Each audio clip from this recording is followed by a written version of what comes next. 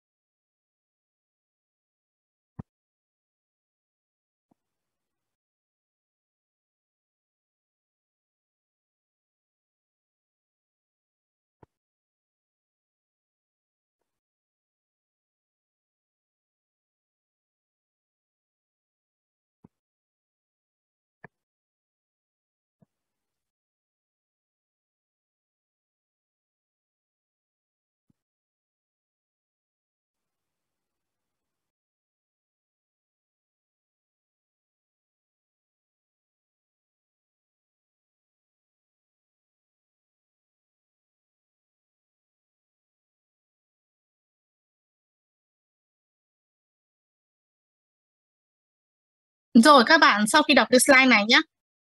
À, xong thì bạn sẽ lấy cho cô cái tình huống sau đây. Ờ, giả sử ấy mình có hai cái chuỗi luân chuyển. Đối với một cái hàng hóa là quả táo quả táo quả táo tươi ấy, một cái quả táo mà chúng ta trồng cây táo có quả táo ấy đúng không ạ? Thì sẽ có hai cái chuỗi luân chuyển như sau đối với cái hàng hóa là quả táo này đúng không ạ? Cái chuỗi đầu cái cái cái chuỗi đầu tiên ấy là cái chuỗi là nông trường A đúng không ạ? À, trồng cây táo đấy đúng không ạ? Có có quả táo ra này sau bán cho người bán cho doanh nghiệp B bán cho người tiêu dùng. Được không nhỉ? Rồi, doanh nghiệp B sau khi mua táo xong thì lại bán táo đó cho doanh nghiệp C và bán cho người tiêu dùng, đúng không ạ? Doanh nghiệp C sau khi mua táo, doanh nghiệp B xong lại bán cho người tiêu dùng. Đó là cái chuỗi đầu tiên. Cái chuỗi là từ khi quả táo này nó được hình thành đấy, cho đến khi nó đến tay của người tiêu dùng. Được không nhỉ? Cái chuỗi thứ hai là cái chuỗi là thay vì là trồng trong nước đấy, đúng không ạ? Thì là nhập khẩu từ nước ngoài vào, đúng không ạ? Doanh nghiệp A nhập khẩu táo từ nước ngoài này, đúng không ạ? Bán cho doanh nghiệp B, đúng không ạ? Bán cho người tiêu dùng doanh nghiệp B sau đó bán cho người tiêu dùng đúng không ạ? Đó cũng là một cái chuỗi cái cái chuỗi cái chuỗi thứ hai. Rồi câu hỏi đặt ra là vậy cái quả táo của đây trong mỗi cái khâu luân chuyển này nó sẽ là đối tượng gì về thuế giá trị gia tăng? Đúng không ạ? Mọi người nhớ lại là gì ạ? Đối với thuế giá trị gia tăng có các đối tượng như là gì ạ? Đối tượng không chịu thuế giá trị gia tăng này đúng không ạ? Đối tượng chịu thuế giá trị gia tăng có bao gồm có ba nhóm ba ba nhóm uh, chính à ba ba nhóm cụ thể đúng không ạ? Đó là gì ạ? Đối tượng chịu thuế không phần trăm. Đối tượng không phải kê khai tính nộp và đối tượng chịu thuế là 5%, 8 hoặc là 10%. Thì cụ thể luôn trong trường hợp này nếu mà quả táo tươi nếu mà có chịu thuế nhé thì là 5%, đúng không ạ? Thì ta bỏ cái nhóm đối, bỏ cái nhóm đối tượng 0% đi, bởi vì 0% chỉ áp dụng đối với hàng xuất khẩu thôi. Đúng không ạ? Rồi bây giờ chúng ta sẽ làm sao ạ? Sẽ à, xác định xem là vậy cái quả táo tươi ở mỗi cái khâu luân chuyển ở đây nó sẽ là đối tượng gì về thuế giá trị gia tăng. Đúng không ạ? Nó là đối tượng gì ạ? À, không chịu thuế này. Đúng không ạ? Đối tượng chịu thuế bao nhiêu ạ? Giá trị à, đối tượng à, không phải kê khai tính nộp này.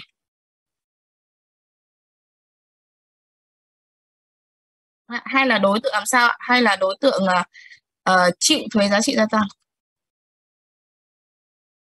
Cụ thể là 5% đúng không ạ? Đấy mọi người nghiên cứu trả lời cho cô xem là vậy ở một cái ở một cái khâu này đúng không ạ? Một hai ba bốn năm này đúng không ạ? Một hai ba bốn này đúng không ạ? Thì quả táo tươi nó sẽ là đối tượng gì về thuế giá trị gia tăng? Rồi, xin mời cả lớp suy nghĩ và trả lời cho cô ạ.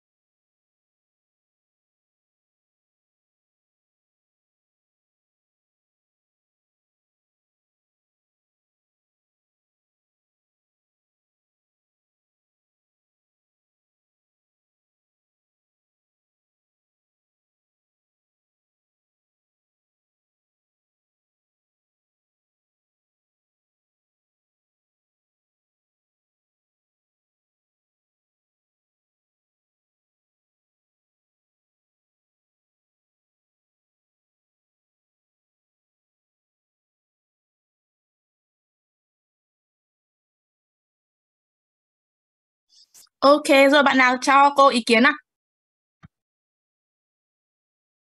Là rồi xin bạn Cẩm Tú ạ. À, em thưa cô ở trường hợp số 1 thì theo em là uh, lông trường A trồng táo thì sẽ không phải chịu thuế giá trị gia tăng. Doanh nghiệp khâu 1 và khâu 2 là không chịu thuế. Vâng. Đúng không rồi? Một này, hai là không chịu thuế này. Rồi ba thì sao ạ? Nó đến doanh đến số 3 và số 4 là phải không phải kê khai thuế á. À, số 3, số 4 này là không phải kê khai này. Rồi tiếp theo ạ. Và số 5 là chịu thuế giá trị gia tăng ạ. Ừ, số 5 là chịu thuế này. Rồi. Thế còn ờ, à, cái chỗ số 2 thì sao? Thì, ở trường hợp 2 thì ở số 1 là không phải chịu thuế á. Trường hợp số 1 này là không chịu thuế này. Ờ, 2 3 là không phải kê khai thuế á. 2 3 là không phải kê khai này. Rồi. Và số 4 là chịu thuế 5% ạ. Số 4 là chịu thuế. Ok, rồi cảm ơn Tú ạ. Nắm bắt được ờ, ý kiến của Tú rồi ạ. Các bạn khác thì sao ạ? Các bạn khác có ý kiến nào khác về Tú không? Em cho cô là ừ. em ờ, ở khâu ờ, ở chỗ thứ nhất thì em ừ. chịu thuế là một hai nhưng mà phải kê một hai này em chỉ có hai thôi ạ. Ờ, không phải kê khai. Chỉ có ba thôi ạ. Không phải kê khai là ba này. Rồi. Tiếp theo ạ, 4 4 là gì ạ? Còn chịu thuế thì là 4 năm ạ. 4 năm này. Ok. Rồi, còn chuỗi số 2 thì sao ạ? Chuỗi số 2 thì uh, một là không phải chịu thuế ạ. Một là không chịu thuế này, rồi. Hai số... là không phải kê khai, không phải kê khai. Hai là không phải kê khai này. Rồi. Và chịu thuế 3. là 3 4.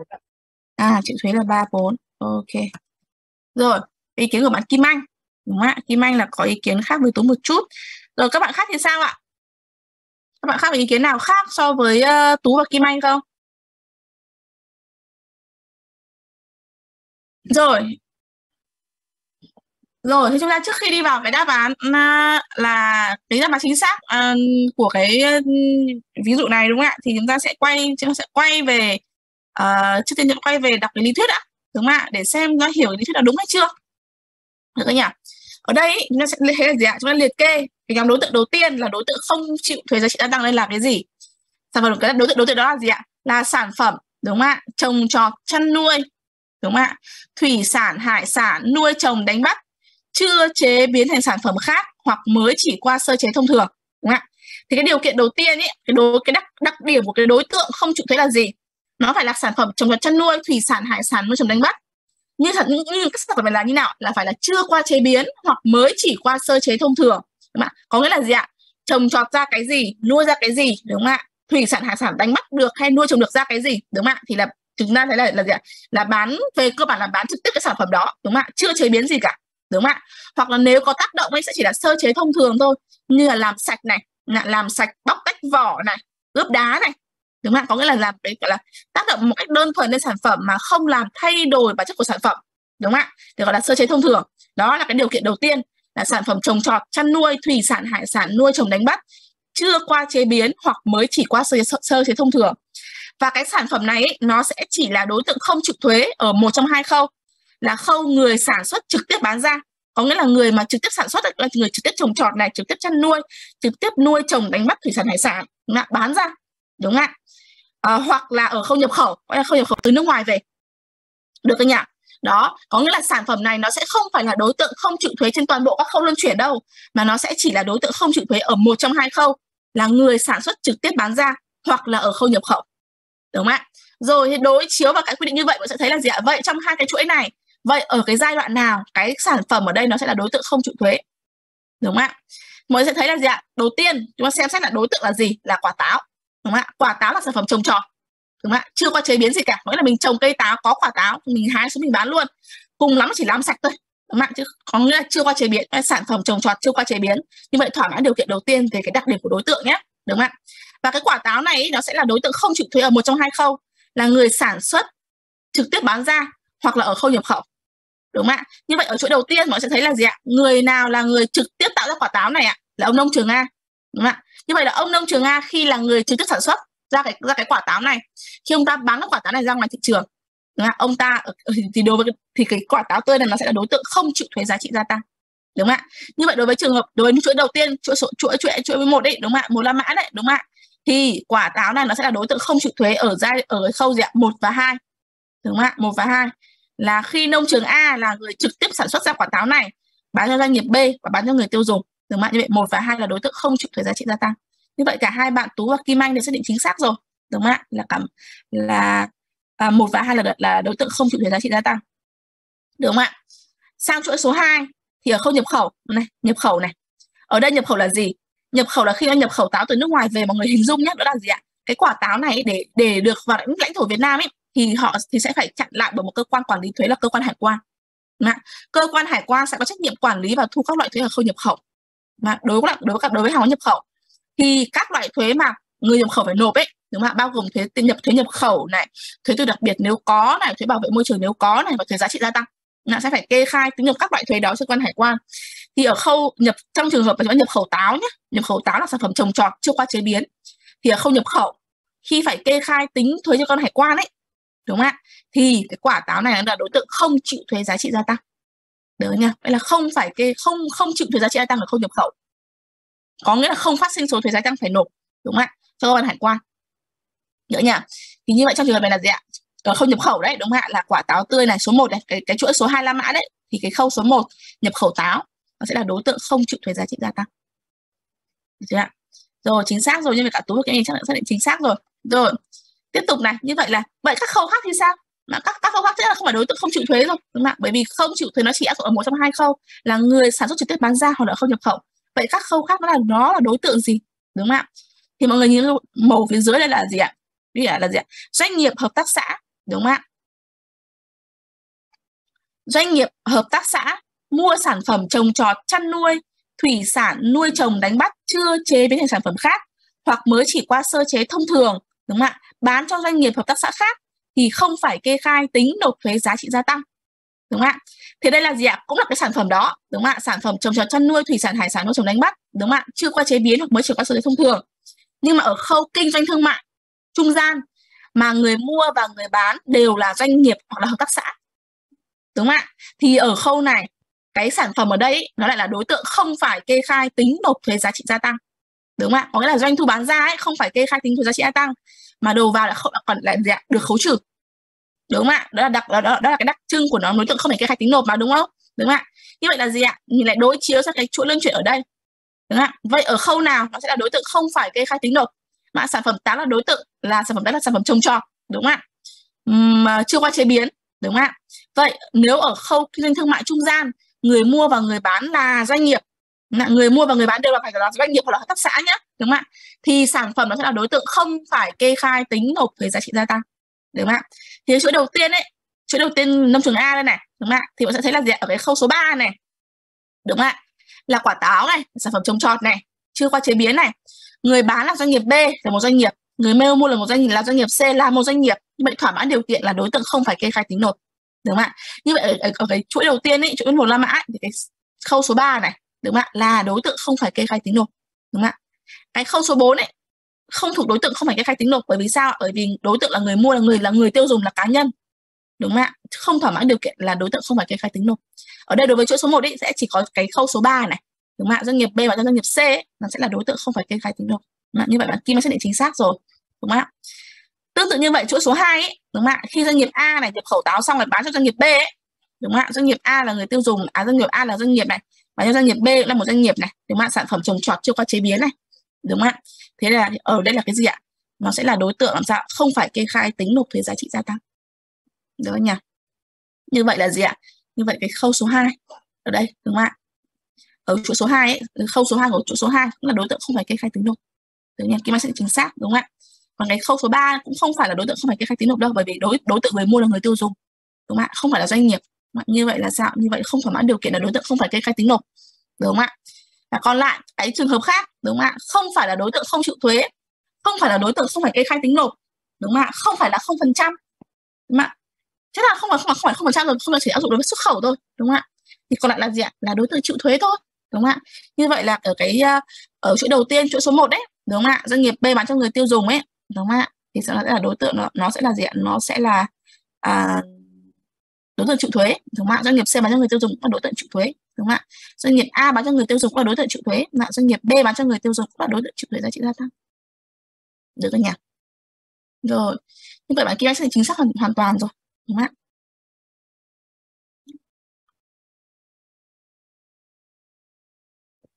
Rồi cô sẽ ghi ờ, đánh dấu phát biểu cho cả hai bạn Tú và Kim Anh nhé. À, Tú cái là ở lớp LT mấy đấy ạ? Dạ em ở lớp LT2 hình như là số 34 ạ. Rồi, Tú là LT2 này.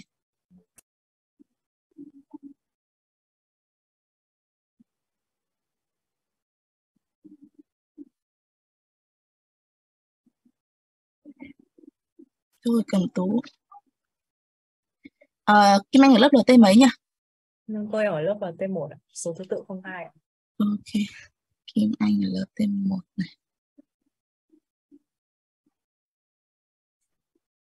Kim Anh LT1. Số tự bao nhiêu nhỉ? Số tự 02 ạ. Số 2 luôn. Lê Kim Anh đúng không? Vâng ạ. Ok. Rồi. Rồi bạn đã thắc mắc gì cái tình huống vừa rồi không ạ? Đó nhé, mọi người hiểu được cái đối tượng đầu tiên đúng không ạ? Liên quan đến đối tượng không chịu thuế giá trị gia tăng. Đúng không ạ? Là nhóm đối tượng là sản phẩm trồng trọt chăn nuôi. Ừ, đây là một nhóm đối toán rất là phức tạp đấy đúng không ạ? Bởi vì không phải bởi vì làm sao ạ? Nhiều khi là mọi người nghĩ đơn giản là nó là đối tượng gì đúng không ạ? Về thuế giá trị gia tăng nó sẽ là cái đối tượng đó xuyên suốt trong tất cả các cái trong các cái khâu luân chuyển nhưng mà không chính xác đúng không ạ? riêng cái đối với cái đối tượng này đúng không ạ thì tùy thuộc vào từng cái giai đoạn luân chuyển khác nhau mà nó sẽ là đối tượng khác nhau về thuế giá trị gia tăng được không nhỉ rồi ngoài cái nhóm đối tượng này ra ấy, thì mình sẽ có một số cái nhóm đối tượng khác đúng không ạ à, một cần quan tâm một chút đúng không ạ? Về nhóm đối tượng không chịu thuế. Đó là các nhóm này thì cũng khá đơn giản thôi không có gì phức tạp cả. Đúng không ạ? À, đó là cái nhóm sản phẩm là giống vật nuôi giống cây trồng sản phẩm muối. Đúng không ạ? Thì nó sẽ đơn giản hơn so với cái nhóm mà chúng ta vừa nói lúc nãy. Đó là đối với sản phẩm là giống vật nuôi giống cây trồng sản phẩm muối ấy, thì cái nhóm đối tượng này nó sẽ là đối tượng không chịu thuế giá trị gia tăng ở tất cả các khâu trong quá trình luân chuyển. Đúng không ạ? Mọi người thay cái đối tượng thay cái quả táo này, này. Đúng không ạ? Là đối với cái ờ, chuỗi luân chuyển này thay cái quả táo này bằng muối chẳng hạn là sản phẩm muối chẳng hạn, đúng không ạ? Thì trong trường hợp này muối ở tất cả các khâu nó đều là đối tượng không chịu thuế giá trị gia tăng, đúng không ạ? Từ một, hai, ba, bốn, năm tất cả các khâu, đúng không ạ? Từ khi nó xuất hiện cho đến tay đường này, đến tay đến tay của người tiêu dùng thì nó đều là đối tượng không chịu thuế giá trị gia tăng, đúng không? nó không giới hạn ở một trong hai khâu giống như sản phẩm chúng ta vừa nói lúc nãy, mà đối với sản phẩm là giống vật nuôi, giống cây trồng với sản phẩm muối, nó là đối tượng không chịu thuế giá trị gia tăng ở tất cả các khâu trong quá trình luân chuyển được không nhỉ? Về dịch vụ này một số dịch vụ cơ bản trọng thiết yếu ấy, như là dịch vụ y tế này thú y này dạy học này dạy nghề này các cái uh, hoạt động là xuất bản nhập khẩu phát hành báo tạp chí bản tin chuyên ngành sách chính trị sách giáo khoa sách giáo trình. Được không nhỉ? Uh, trường hợp chúng ta nhập khẩu hàng hóa hoặc là hàng hóa dịch vụ chúng ta bán ra đúng không ạ? Nhập khẩu hàng hóa xong rồi bán ra này hoặc là sản xuất ra rồi bán ra đúng không ạ? Cho các tổ chức cá nhân để đi viện trợ nhân đạo viện trợ không hoàn lại đúng không ạ. Thì trong trường hợp này, đúng không ạ, nó cũng là đối tượng không chịu thuế giá trị gia tăng. Được không nhỉ? Có nghĩa là gì ạ? Đây là cái nghiệp vụ là cái cái hoạt động là phi lợi nhuận, cái là hoạt động không bị lợi nhuận. Đúng không ạ? Là mục mục tiêu nhân đạo. Đúng không ạ? Nên trong trường hợp này làm sao ạ? Chúng ta cũng là đối tượng, cái nhóm đối tượng này khi chúng ta bán hàng hóa ra cho các nhóm đối tượng để sử dụng để viện trợ nhân đạo, viện trợ không hoàn lại, thì cũng là đối tượng không chịu thuế giá trị gia tăng. Đó nhé vâng rồi ví dụ ạ nào sẽ cô xem các trường hợp nào sau đây là đối tượng không chịu thuế giá trị gia tăng. Đầu tiên ạ nho tươi ở khâu nhập khẩu.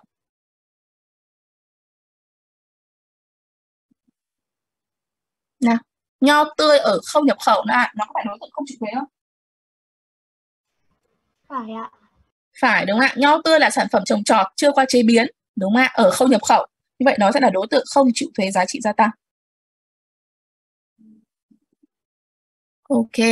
Đậu xanh đã sát vỏ do nông dân bán ra. Không chịu thuế phải ạ. Ừ, đúng là đối tượng không chịu thuế rồi cũng là sản phẩm trồng trọt đúng không ạ? À, mới qua sơ chế thông thường mà mới sát vỏ thôi là sơ chế thông thường đúng không ạ? Và do nông dân bán ra đúng không ạ? Như vậy nó sẽ là đối tượng sao không chịu thuế giá trị gia tăng chính xác đúng không ạ? Trứng gà bán trong siêu thị cho người tiêu dùng. Không không phải ừ, trường hợp này là sản phẩm chăn nuôi chưa qua chế biến gì cả. Nhưng mà là gì ạ? Là siêu thị không phải là người sản xuất không phải là người nhập khẩu đúng không ạ? À, bán cho người tiêu dùng đúng không ạ? Là đối tượng người cá nhân tiêu dùng thì là vậy là đối tượng này nó là đối tượng chịu thuế đúng không ạ? Rồi muối yêu bán trong siêu thị ạ. Phải ạ. Muối yêu bán trong siêu thị nó là đối tượng không chịu thuế đấy, đúng không ạ? Bởi vì đối với sản phẩm muối thì bất cứ khâu nào trong quá trình luân chuyển nó cũng đều là đối tượng không chịu thuế. Được nhỉ rồi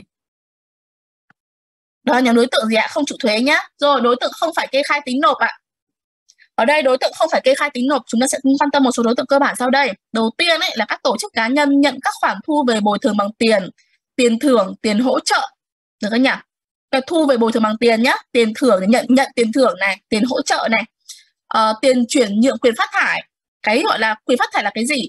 Chuyển nhượng quyền phát thải mọi người hiểu là gì ạ? Cái quyền phát thải là cái quyền chúng ta được phép xả thải ra môi trường đúng không ạ? Gọi là các doanh nghiệp mà được nhà nước cấp cho một cái định mức xả thải đấy, đúng không ạ? Mà trong trường hợp mà không dùng hết, đúng không ạ? Thì được phép chuyển nhượng cho người khác và có thu về tiền, đúng không ạ? Thì cái tiền thu về từ việc chuyển nhượng phát thải chúng ta sẽ không phải kê khai tính nộp thuế giá trị gia tăng, đúng không nhỉ? Các khoản tiền bồi thường bằng tiền cũng như vậy, bồi thường bằng nhận, bồi thường bằng tiền nhé mình nhận bồi thường bằng tiền này, mình nhận tiền thưởng này, mình nhận nhận tiền hỗ trợ này, và các khoản thu tài chính khác thì mình cũng sẽ không phải kê khai tính nộp thuế giá trị gia tăng. Được không nhỉ? Nhưng mà đối với cái gọi là bồi thường nhé mọi người lưu ý là là gì ạ? Bồi thường bằng tiền thì mới là không phải kê khai tính nộp thuế giá trị gia tăng. Còn nếu mình nhận bồi thường bằng hiện vật ấy cái bằng hàng hóa dịch vụ ấy thì mình cũng thì mình sẽ vẫn phải kê khai tính nộp thuế giá trị gia tăng bình thường. Đúng không ạ? Ví dụ như là gì ạ? Trong trường hợp này nhé trường hợp mà cơ sở mà đi bồi thường ấy phải sử dụng hàng hóa dịch vụ của mình ấy để bồi thường cho người khác. Thì khi mà đưa hàng hóa đó cho cho, cho người khác nó như là một vụ bán ra. Đúng không? ạ? Sẽ phải kê khai thì thuế giá trị đầu ra. Đúng không ạ? Còn nếu trường hợp là gì ạ? Là chúng ta là người nhận bồi thường nhận hàng hóa dịch vụ đúng không ạ? Thì mình như là mình chỉ mua hàng hóa mà mình mình mua về mình có hàng hóa thì mình sẽ được kê khai khấu trừ như hàng hóa đầu vào đúng không ạ? Đó.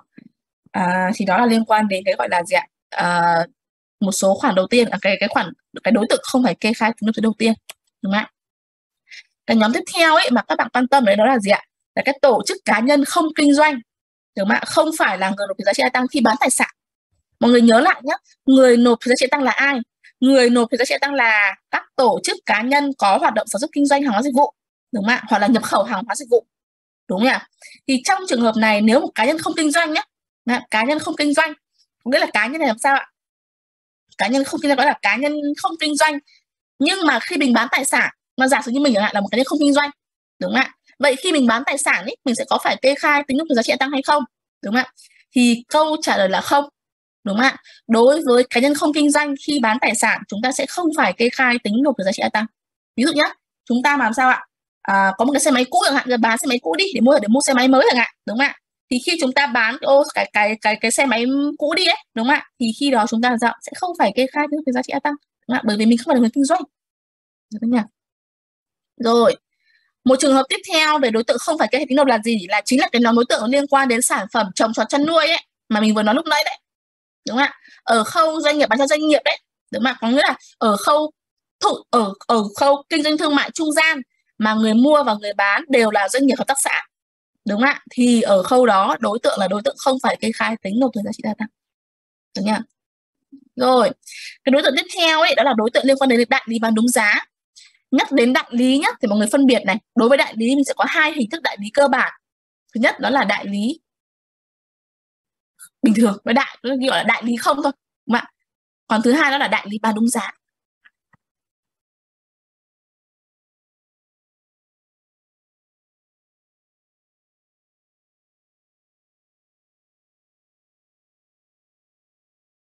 Được không nhỉ? Đại lý bán đúng giá. Vậy sự khác biệt của hai cái loại đại lý là như thế nào? Thì đại lý bán đúng giá là gì? Đại lý bán đúng giá là đại lý là, đại lý là gì? Đại lý là một cái kênh phân phối cả hai loại nhé nó đều là một cái kênh phân phối. Mà kênh phân phối hàng hóa dịch vụ của cơ sở chủ hàng. Tuy nhiên ấy, đại lý bán đúng giá họ sẽ bị kiểm soát về giá. Đó là cơ sở chủ hàng sẽ ấn định giá bán cho cơ sở đại lý bán đúng giá. Là nghĩa là anh sẽ phải bán theo đúng cái giá mà tôi quy định. Tôi giao cho anh giá 10 đồng thì anh phải giá bán theo đúng giá 10 đồng không hơn không kém. Đúng không được gọi là đại được gọi là đại lý bán đúng giá. Bán theo đúng giá ấn định của cơ sở chủ hàng.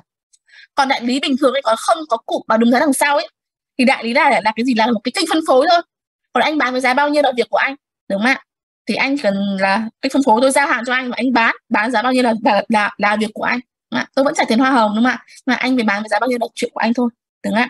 Thì có nghĩa là cơ sở chủ hàng không có sự kiểm soát về giá đúng không ạ? Đối với đại lý bán đúng đối với đại lý thông thường. Được không nhỉ? Đó nhá. Thì ở đây cái chủ thể trong cái đối tượng không phải kê khai tiêu là ai? Cái chủ thể ở đây là là gì là đại lý bán đúng giá. Nhớ nhá đại lý bán đúng giá.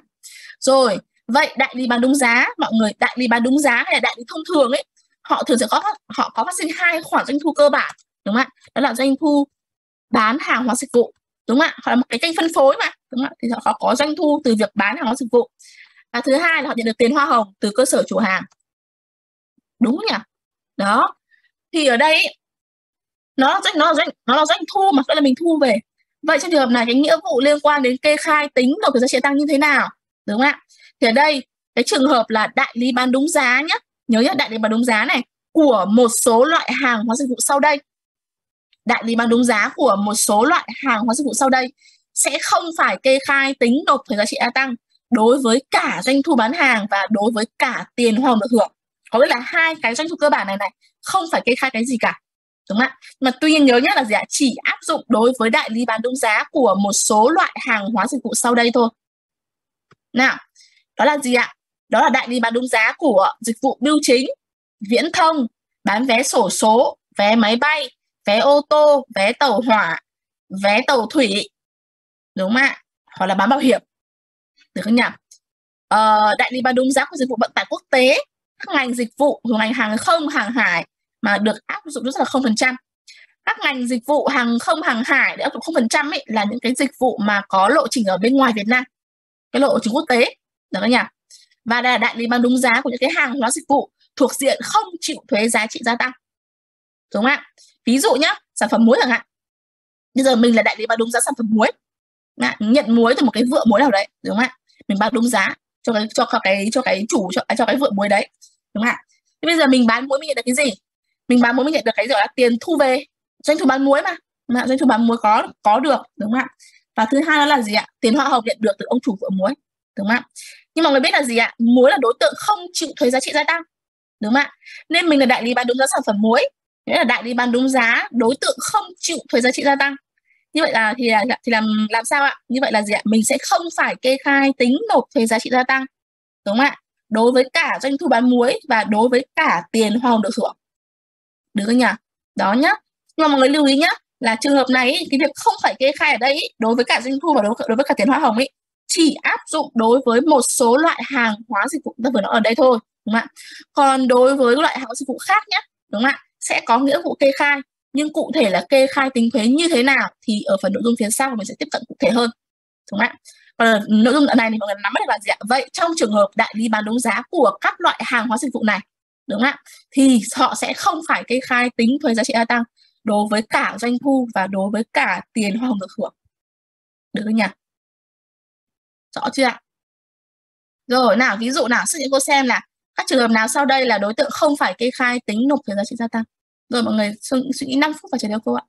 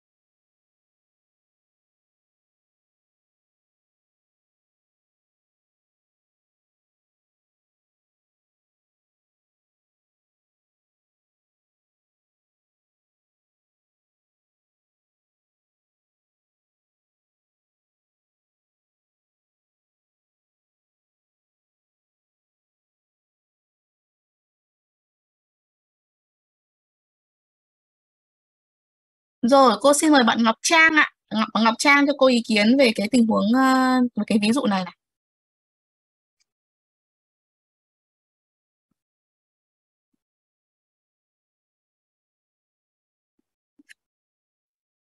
Trang ơi. À đây ạ, em quên chưa mở mic. Ờ. Em Rồi, cô. Trang. Em thưa cô uh, tất cả các cái uh, ý đưa trên chỉ có ý thứ ba là siêu thị A nộp thuế cho nộp thuế giá trị gia tăng theo phương pháp khấu trừ bán thịt gà tươi cho người tiêu dùng là phải chịu phải kê khai và tính nộp thuế giá trị gia tăng thôi còn lại Ừ. các uh, ý khác thì đều không cần Rồi. Ok rồi, theo ờ, ý kiến của Ngọc Trang thì là trong 1 2 3 4 5 6 6 tình huống ở đây thì chỉ có tình huống liên quan đến là siêu thị chỉ có tình huống là siêu thị A bán thịt gà tươi cho người tiêu dùng thì sẽ phải là kê khai tính thuế giá trị gia tăng, còn các trường hợp khác thì sẽ là không. Đúng ạ? Sẽ là không phải kê khai tính nộp, đúng không ạ? Ok. Rồi bạn nào có ý kiến khác không? À, Võ Linh ạ, bà Võ Linh có ý kiến khác với Ngọc Trang không ạ? có Ờ, Ừ, Võ Linh ý kiến nào ạ? theo em thì ờ, chỉ có các ý 1, 2, uh, 4 và 6 là không phải kê khai tính nộp thôi ạ. Một này, một, hai, 2, 4 bốn và và 6 sáu. Còn là không phải kê khai tính nộp. Vâng, còn 3 và 5 là phải kê khai tính nộp ạ. ba là thịt gà tươi là ý kiến của Ngọc Trang này và năm năm là cái uh, XYZ Bán đây đúng không? Vâng. Ừ, là ờ, là phải là phải kê khai tính nộp. Dạ. Rồi, cảm ơn bạn bạn Linh cũng nắm được ý kiến bạn Linh rồi. Bạn Nhàn thì sao ạ? Ờ, theo em thì là 1 với 4 là phải kê khai thôi ạ. Một này, một này và Dạ. một là điện lạnh Sharp này và bốn là phân phối muối hả? Vâng ạ. Là phải kê khai. Đúng không? Vâng, Còn các trường hợp khác thì là không phải kê khai. vâng ạ. Ok. Rồi cảm ơn bạn Nhàn là nắm ý kiến của bạn Nhàn rồi ạ. Bạn Tú thì sao ạ? Dạ, em thưa cô theo em thì là trường hợp 1 và trường hợp 2 là phải kê khai thuế ạ. Còn 4 trường hợp còn lại thì là không phải kê khai thuế ạ. một và hai đó là Sharp và bán thịt gà tươi cho công ty B Vâng ạ. là phải kê khai. Vâng ạ. Ừ, còn các trường hợp khác là không phải kê khai. Vâng. Rồi, ok. Rồi, các bạn khác thì sao ạ? Có ai có ý kiến khác không? Ai có ý kiến khác so với ờ, các bạn ờ, vừa trả lời không? Nào, đầu tiên ạ, công ty A làm lại địa bàn đúng giá hưởng hoa hồng của hãng điện tử điện lạnh Sharp. Có phải là đối tượng không phải kê khai không? Cái sản phẩm là điện tử điện lạnh Sharp ấy, nó có phải là cái đối tượng mà mình đang nói ở trên ở trong danh mục này không? Không ạ. Không ạ. Không, đúng không ạ? Như vậy nó không thỏa mãn điều kiện để được không để không phải kê khai tính nộp đâu. Trường là gì ạ? Đối với Sharp nhé, vẫn phải kê khai tính thuế bình thường. Đấy vẫn kê khai tính thuế mà kê khai đối với cái gì nhá? Thì sẽ là câu trả lời ở phần ở phần nội dung phía sau, đúng không ạ? Trường này là không nhé. Câu, câu câu trả lời thành là hỏi là trường hợp các trường hợp này có phải là rơi vào trường hợp không phải kê khai nộp hay không? Thì đối với Sharp nhé, là vẫn phải kê khai tính nộp. Được nha. Nào, siêu thị A này ờ, bán thịt gà tươi cho công ty B có phải kê khai tính nộp không? Không. Ừ, không đúng ạ bởi bởi vì sao ạ? Bởi vì sao? Thịt gà tươi là sản phẩm chăn nuôi mới qua sơ chế thông thường, đúng không ạ? Thịt gà mà, nuôi có là con gà là cái con gà mình nuôi được con gà đấy, mình vặt lông làm sạch thôi, thịt gà tươi mà mới gọi là mới qua sơ chế, gọi là làm sạch gọi là mới qua sơ chế thông thường thôi, đúng không ạ? Và siêu thị A là một doanh nghiệp, nộp thời gian, nộp thuế giá trị gia tăng khấu trừ công ty B là một doanh nghiệp, đúng không ạ? Như vậy là người mua và người bán, ở đây là khâu thương mại trung gian, người mua và người bán là doanh nghiệp, đúng không ạ? Nó là đối tượng không phải kê khai tính nộp được không nhỉ? Như vậy là siêu thị A này đúng không ạ? Là đối tượng bán ra thì là tôi cho công ty B, sẽ là đối tượng không phải kê khai tính nộp được không nhỉ? Sorry, một tí nhé.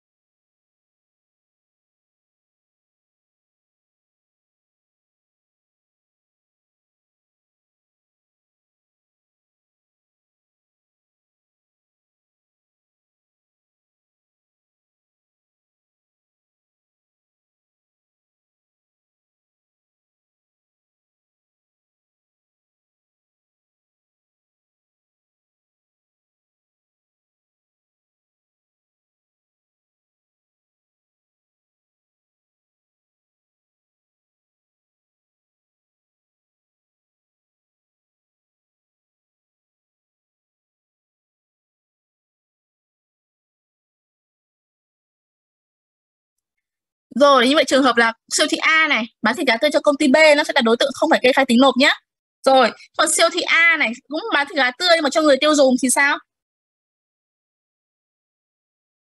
Có phải kê khai không ạ? Có. Có. Chịu thuế à, chịu thuế và phải kê khai tính nộp thuế. Dạ, giá trị gia tăng. Rồi chính xác. À, doanh nghiệp B làm đại lý bán đúng giá phân phối muối ạ. Có phải kê khai không, không? Ừ, không cái này nó ví dụ là giống vẫy rồi mà đúng không ạ muối là sản phẩm là đối tượng không chịu thuế giá trị gia tăng. Đúng nhỉ? Và mình là đại lý bán đúng giá sản phẩm muối là đại là là đại lý bán đúng giá của gì ạ? Đối tượng không chịu thuế giá trị gia tăng. Vậy nó sẽ là đối tượng nó sẽ là gì ạ? Mình sẽ không phải kê khai tính thuế giá trị gia tăng. Đúng không ạ. Rồi tiếp theo ạ. XYZ là đại lý bán vé hưởng hoa hồng của Vietnam Airlines. Không ạ.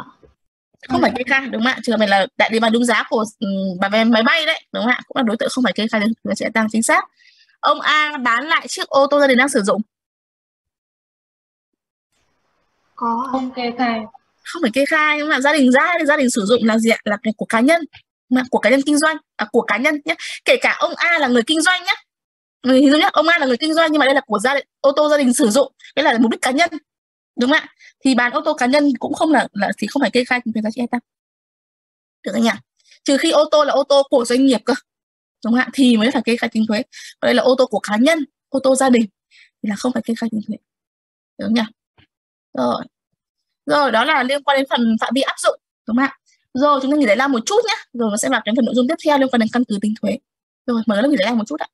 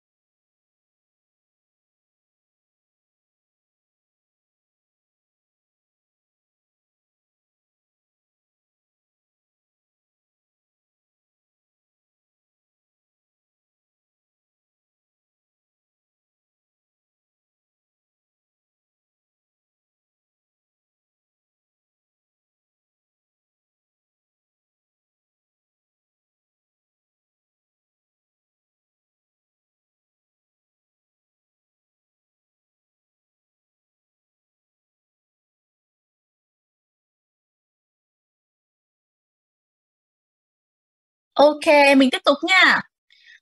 Rồi thế sau khi nghiên cứu về phạm vi tính à, phạm vi áp dụng đúng không ạ? Để trả lời được câu hỏi đầu tiên là vậy ai sẽ là người phải đứng ra kê khai tính nộp thuế giá trị gia tăng? Đúng không ạ?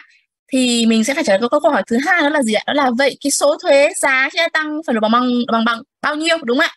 Bây giờ không ai tính hộ thuế cho mình đâu đúng không ạ? Mình phải là người tự tính thuế đúng không nhỉ? Vậy cái số thuế phải nộp bằng bao nhiêu? Mình phải tính như sau thì để tính toán được cái số thuế giá trị phải nộp ấy mình sẽ có các cái căn cứ tính thuế và phương pháp tính thuế, đúng không ạ? Rồi mình sẽ bắt đầu bằng cái gọi là căn cứ tính thuế giá trị gia tăng. Thì căn cứ tính thuế giá trị gia tăng bao gồm có hai căn cứ, đó là giá tính thuế giá trị gia tăng và thuế suất thuế giá trị gia tăng. Được không nhỉ? Giá tính thuế giá trị gia tăng ở đây chúng sẽ có một cái nguyên tắc chung.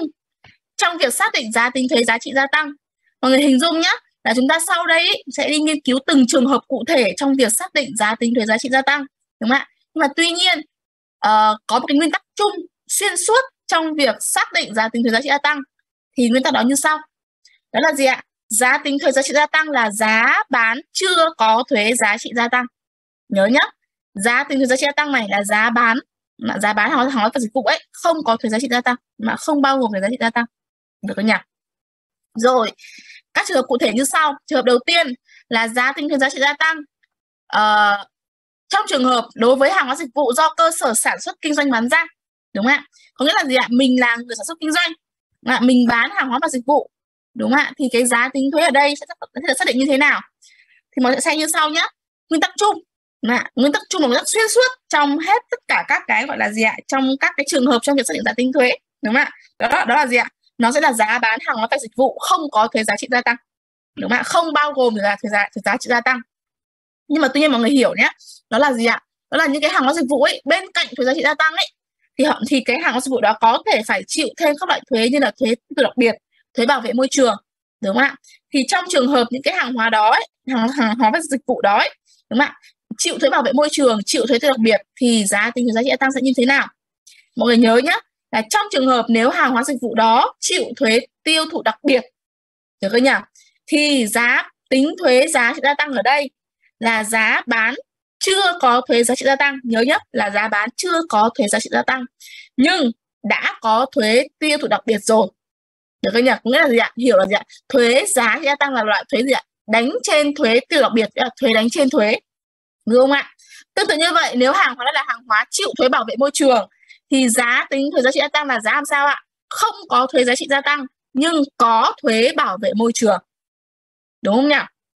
Rồi, và nếu hàng đó là là hàng hóa sao chịu cả thuế bảo vệ môi trường, chịu cả thuế tiêu đặc biệt, thì giá tính giá trị gia tăng là giá làm sao ạ? Không có thuế giá trị gia tăng, nhưng có bao gồm, nhưng có bao gồm cả thuế bảo vệ môi trường và cả thuế tiêu thụ đặc biệt.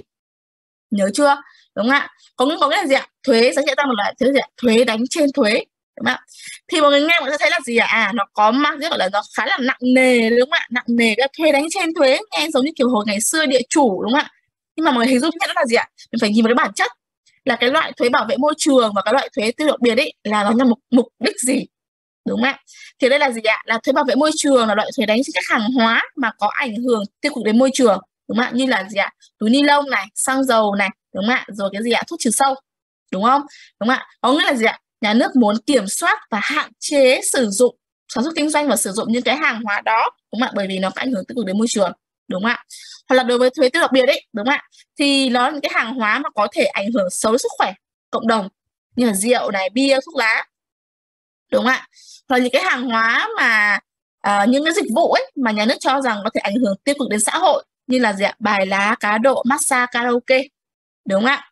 Hoặc là những cái hàng hóa dịch vụ mà chỉ những người nào giàu mới có thể tiêu dùng được mang nhất là điều tiết thu nhập phân phối lại của cả xã hội đúng không ạ? Như là ô tô tàu bay du thuyền uh, gì ạ? Uh, xe mô tô phân khối lớn đúng không ạ? Hoặc là dịch vụ chơi gôn đúng không ạ?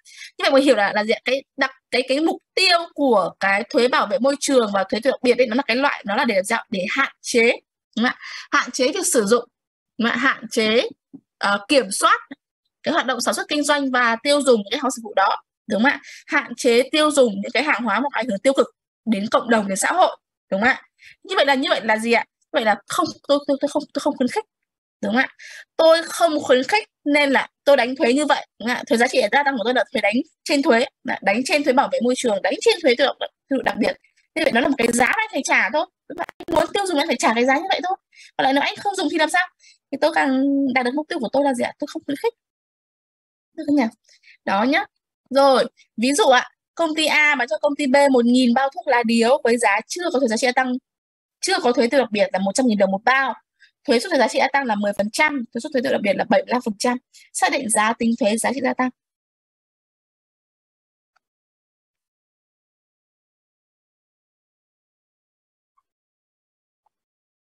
Nào, trường này giá tính thuế giá trị gia tăng bằng mấy ạ?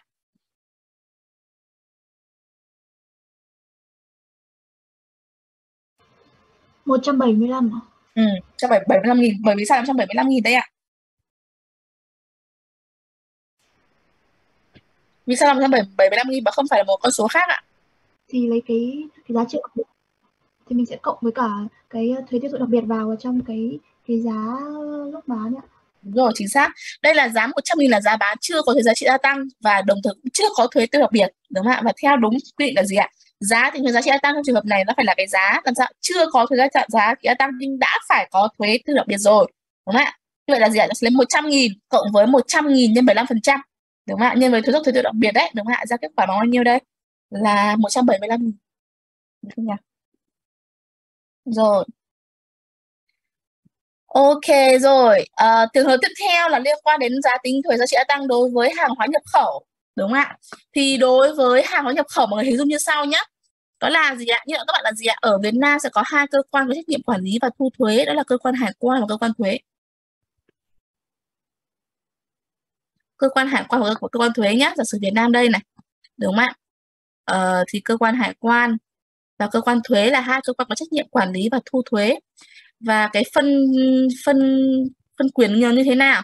Mọi người hình dung nhé đó là gì ạ? Cơ quan hải quan sẽ có trách nhiệm quản lý và thu các loại thuế bao gồm thuế xuất khẩu.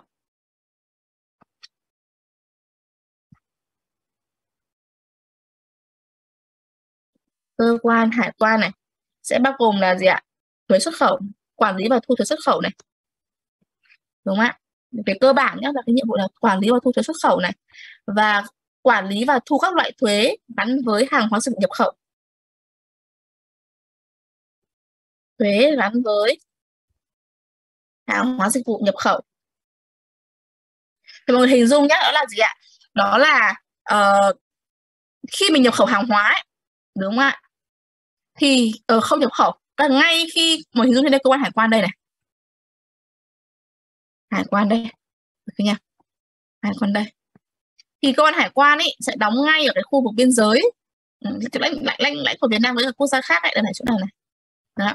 nên khi mà một cái hàng hóa nào đó từ nước ngoài vào vào Việt Nam, đúng không ạ gặp ngay cơ quan hải quan đúng không ạ rồi, và để vào được Việt Nam nhé, thì sẽ phải hoàn thành cái nghĩa vụ thuế đối với cơ quan hải quan đã, đúng không ạ và cái nghĩa vụ thuế đối với hàng hóa nhập khẩu như sau. Nó sẽ bao gồm là gì ạ? Đầu tiên đó là thuế nhập khẩu. Các loại thuế có thể phát sinh, các loại các loại thuế sẽ phát sinh mà gắn với hàng nhập khẩu bao gồm là thuế nhập khẩu này.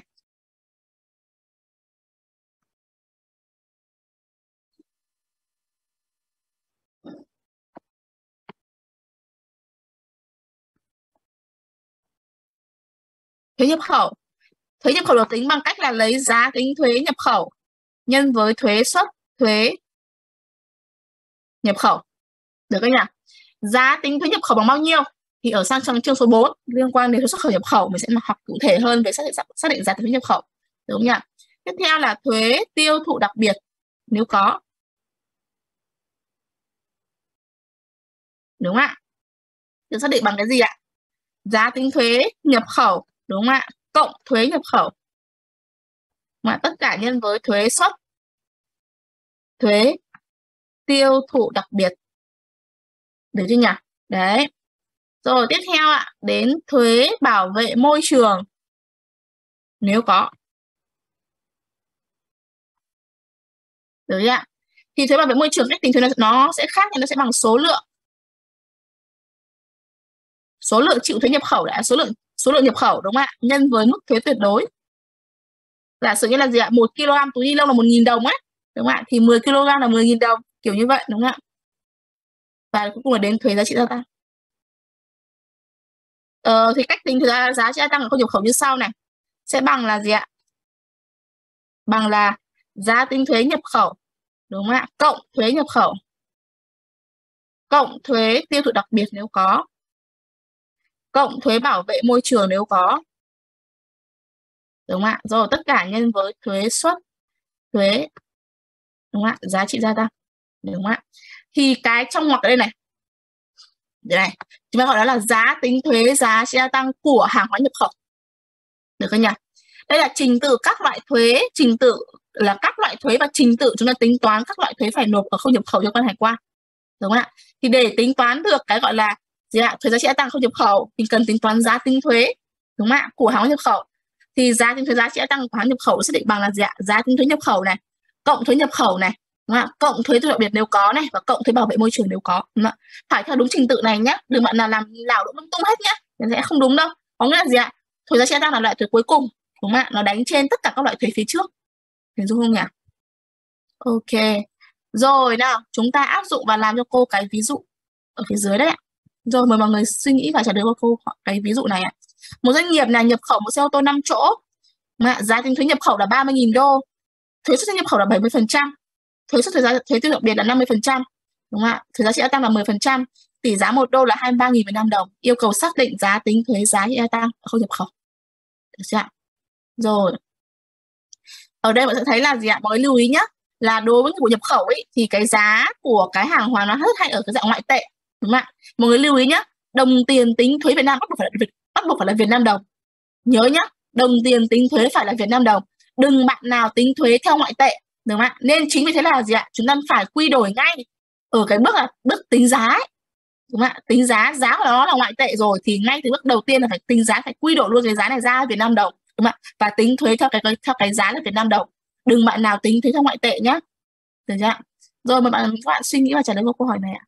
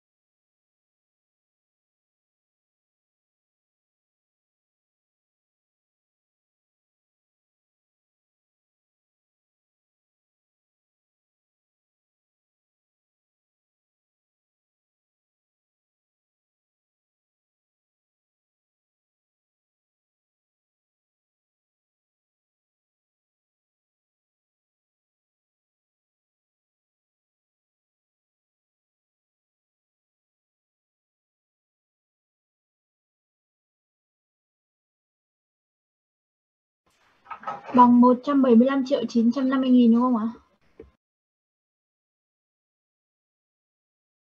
À, có kết quả rồi đấy ạ, bạn Ánh đúng không?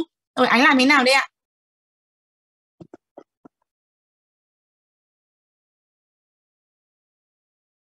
Nào, Ánh xử lý thế nào đây ạ? À, đầu tiên là tính thuế nhập khẩu ạ.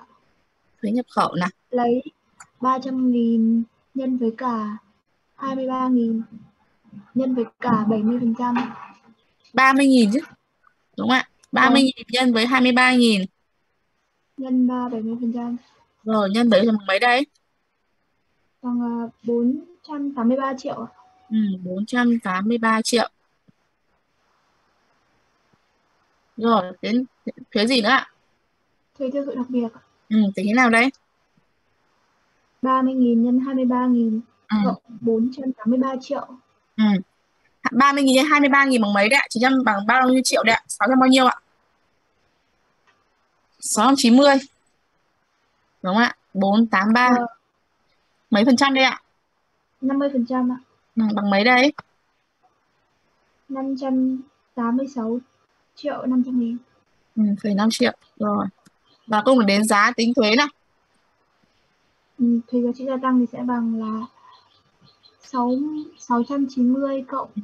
483 cộng 586,5 tất cả nhân ừ. 10%. Giá tính thuế mà. À. Giá trong mấy đấy ạ? Ừ. Bằng uh, 1 nghìn à 1 tỷ 759 triệu. 59 phẩy năm Vâng. Một một nghìn bảy trăm năm chín phẩy năm triệu đúng không ạ? Rồi ok. Rồi cảm ơn bạn học, bạn Ánh ạ. Mọi người lưu ý nhá, đó là uh, mọi người lưu ý là bây giờ chúng ta phải quen đến việc là câu hỏi hỏi gì trả lời cái đấy đúng không ạ? Đặc biệt là chúng ta thi trắc nghiệm được không nhỉ? Nếu mà thi tự luận ấy, thi tự luận thì có thể là mình trả lời thừa tí chả ảnh hưởng gì cả đúng không ạ? Cũng chả ai chỉ điểm của mình cả đúng không ạ? Nhưng mà đối với thi, thi trắc nghiệm nhé, mọi người lưu ý nhé là nhớ là hỏi gì thì trả lời đúng cái đấy Dạ. có thể mình làm đúng đấy mà mình lại làm kết quả mình lại thừa như kiểu là bây giờ đang hỏi giá tính thuế chẳng hạn đúng không ạ xác định giá tính thuế đúng rồi mà lại thêm một cái bước là nhân 10 phần trăm là thành thuế. Lại là thành nhà sai rồi đúng không ạ? Câu hỏi là hỏi là gì ạ? Hỏi giá giá tính thuế cơ mà có hỏi thuế đâu đúng không ạ? Mọi người lưu ý là gì ạ? Nhớ nhá là gì ạ? Nhớ thi trắc nghiệm mình là hỏi gì trả lời đấy. Được không nhỉ? Rồi chính xác rồi ạ. Học anh ở lớp LT mấy nhỉ? Ờ, 02 LT2 ạ. 02 LT2.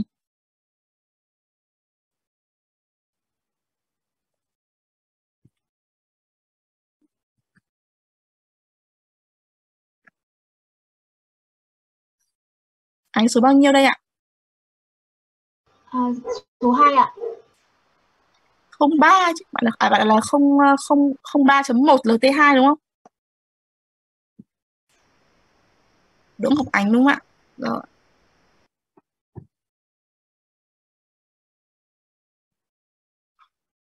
Rồi đó là cái trường hợp liên quan đến giá tính thuế giá trị tăng đối với hàng hóa nhập khẩu, đúng không ạ? Rồi trường tiếp theo ạ. Đó là trường hợp liên quan đến giá tính thuế của hàng hóa dịch vụ dùng để trao đổi, biếu, tặng, cho, trả thay lương. Đúng không ạ? Còn hình dung là gì ạ? Đấy, trường hợp này là gì ạ? Hàng hóa dịch vụ dùng để trao đổi là nghĩa là thế nào ạ? Nghĩa là mình dùng hàng hóa dịch vụ của mình để đổi lấy hàng hóa dịch vụ của người khác nhận về, đúng không ạ? À, biếu tặng cho, mà có nghĩa là mình biếu, mình tặng, mình cho người khác, đúng không ạ? Hoặc là mình trả thay lương cho người lao động đúng không ạ thay vì trả bằng tiền chẳng hạn thì mình trả thay lương trả lương bằng hiện vật bằng hóa và dịch vụ đúng không ạ thì mọi hình dung nhé là những cái nghiệp vụ này nó sẽ không có tiền thu về đâu. Đúng không ạ. Trao đổi là lấy hàng hóa dịch vụ đổi hóa và dịch vụ này biếu tặng cho này trả thay lương làm, làm, làm gì có tiền thu về. Đúng không ạ nhưng mọi người nhớ nhé là các nghiệp vụ này chúng ta coi như là một nghiệp vụ bán ra thông thường. Mặc dù không thu tiền không thu tiền về nhưng mà như là một vụ bán ra. Đúng không ạ bởi vì là bởi vì làm sao đối đối với trao đổi nhé trao đổi làm sao tức là thay vì là mình bán hàng hóa lấy tiền rồi mình lấy tiền là mình mua hàng hóa dịch vụ của người khác đúng không ạ? Mình trao đổi trực tiếp là hàng đổi hàng dịch vụ đổi dịch vụ chẳng hạn đúng không ạ? Trao đổi trực tiếp. À, hoặc là gì ạ? Biếu tặng cho đúng không ạ? Biếu tặng cho trả thay lương đúng không ạ? Có nghĩa là thay vì mình là bán hàng hóa của mình lấy tiền xong rồi lấy tiền đó để làm sao ạ? Để mua hàng hóa dịch vụ khác để biếu để tặng để cho để trả thay lương đúng không ạ? Thì mình dùng luôn cái hàng hóa đó để làm sao ạ? Của mình đấy đúng không ạ? Để biếu để tặng để cho để trả thay lương đúng không ạ? Thì mặc dù làm sao là không có tiền thu về, nhưng các nghiệp vụ này chúng ta coi như một nghiệp vụ bán ra bình thường. Được không nào? Vậy nếu mà không thu tiền thì vậy mình sẽ tính thuế giá trị gia tăng ấy, theo cái giá nào? Đúng không ạ? Giá tính thuế giá trị gia tăng nó sẽ, nó nó sẽ là cái giá nào? Mọi nhớ nhá, nó là gì ạ? Giá tính thuế giá trị gia tăng đối với những cái hàng hóa dịch vụ, dùng để trao đổi, biếu tặng, cho trả thay lương là giá tính thuế giá trị gia tăng của hàng hóa dịch vụ cùng loại hoặc là tương đương tại thời điểm phát sinh các hoạt động này. thì mọi người hiểu thế nào được gọi là hàng hóa dịch vụ cùng loại hoặc là tương đương? Cùng loại là gì? Là cái giá bán chính của loại hàng hóa đó ngoài thị trường. Đúng không ạ? Giả sử nhá, bây giờ mình dùng một nghìn hộp bánh chẳng hạn, mình tặng cho con của người lao động nhân dịp trung thu chẳng hạn. Đúng không ạ? Tặng cho con người lao động nhân dịp nhân dịp trung thu, đúng không ạ? Thì cái hàng hóa là một nghìn hộp bánh đó nhé tặng cho người, con người lao động trong người, trong dịp trong dịp trung thu thì nó là gì ạ? Nó là đối tượng phải kê, nó phải là gì ạ? Phải kê khai thuế như là hàng hóa bán ra bình thường, đúng không ạ? Như vậy nó sẽ tính giá tính thuế đối với cái hộp bánh đó là như thế nào, đúng không ạ? Thì mình sẽ lấy giả sử nhất cái hộp bánh đó ngoài thị trường, doanh nghiệp đang bán với giá bán chưa thuế giá trị gia tăng là 100 000 đồng một hộp, đúng không ạ? Thì mình sẽ lấy luôn cái giá 100 000 đồng đó, đúng không ạ? Để tính thuế giá trị gia tăng cho 1 000 hộp bánh em em đi tặng, đúng không ạ? Và lấy giá, lấy đúng cái giá tính thuế của sản phẩm đó khi bán ngoài thị trường nội địa, đúng không ạ? Để làm căn cứ tính thuế giá trị gia tăng. Nhưng giả sử nhé ngoài thị trường không còn tồn tại loại bánh đó nữa. Đúng không ạ? Chỉ còn đúng một người hộp bánh tặng người lao động thôi. Đúng không ạ? Thì mình không có giá tính thuế của chính sản phẩm đó. Thì mình sẽ lấy giá tính thuế giá trị tăng của sản phẩm tương đương có nghĩa là sản phẩm gần giống sản phẩm đó nhất. Đúng không ạ? Đó nhé người nhớ nhé trao đổi biếu tặng cho trả thay lương phải kê khai tính thuế. Được ạ? rồi tiếp theo ạ. À, đối với cái gọi là gì ạ? Tiêu dùng nội bộ. Đúng không ạ? Thì đối với tiêu dùng nội bộ thì chúng ta sẽ phải phân biệt hai cái khái niệm, đó là luân chuyển nội bộ và tiêu dùng nội bộ, nó sẽ khác nhau.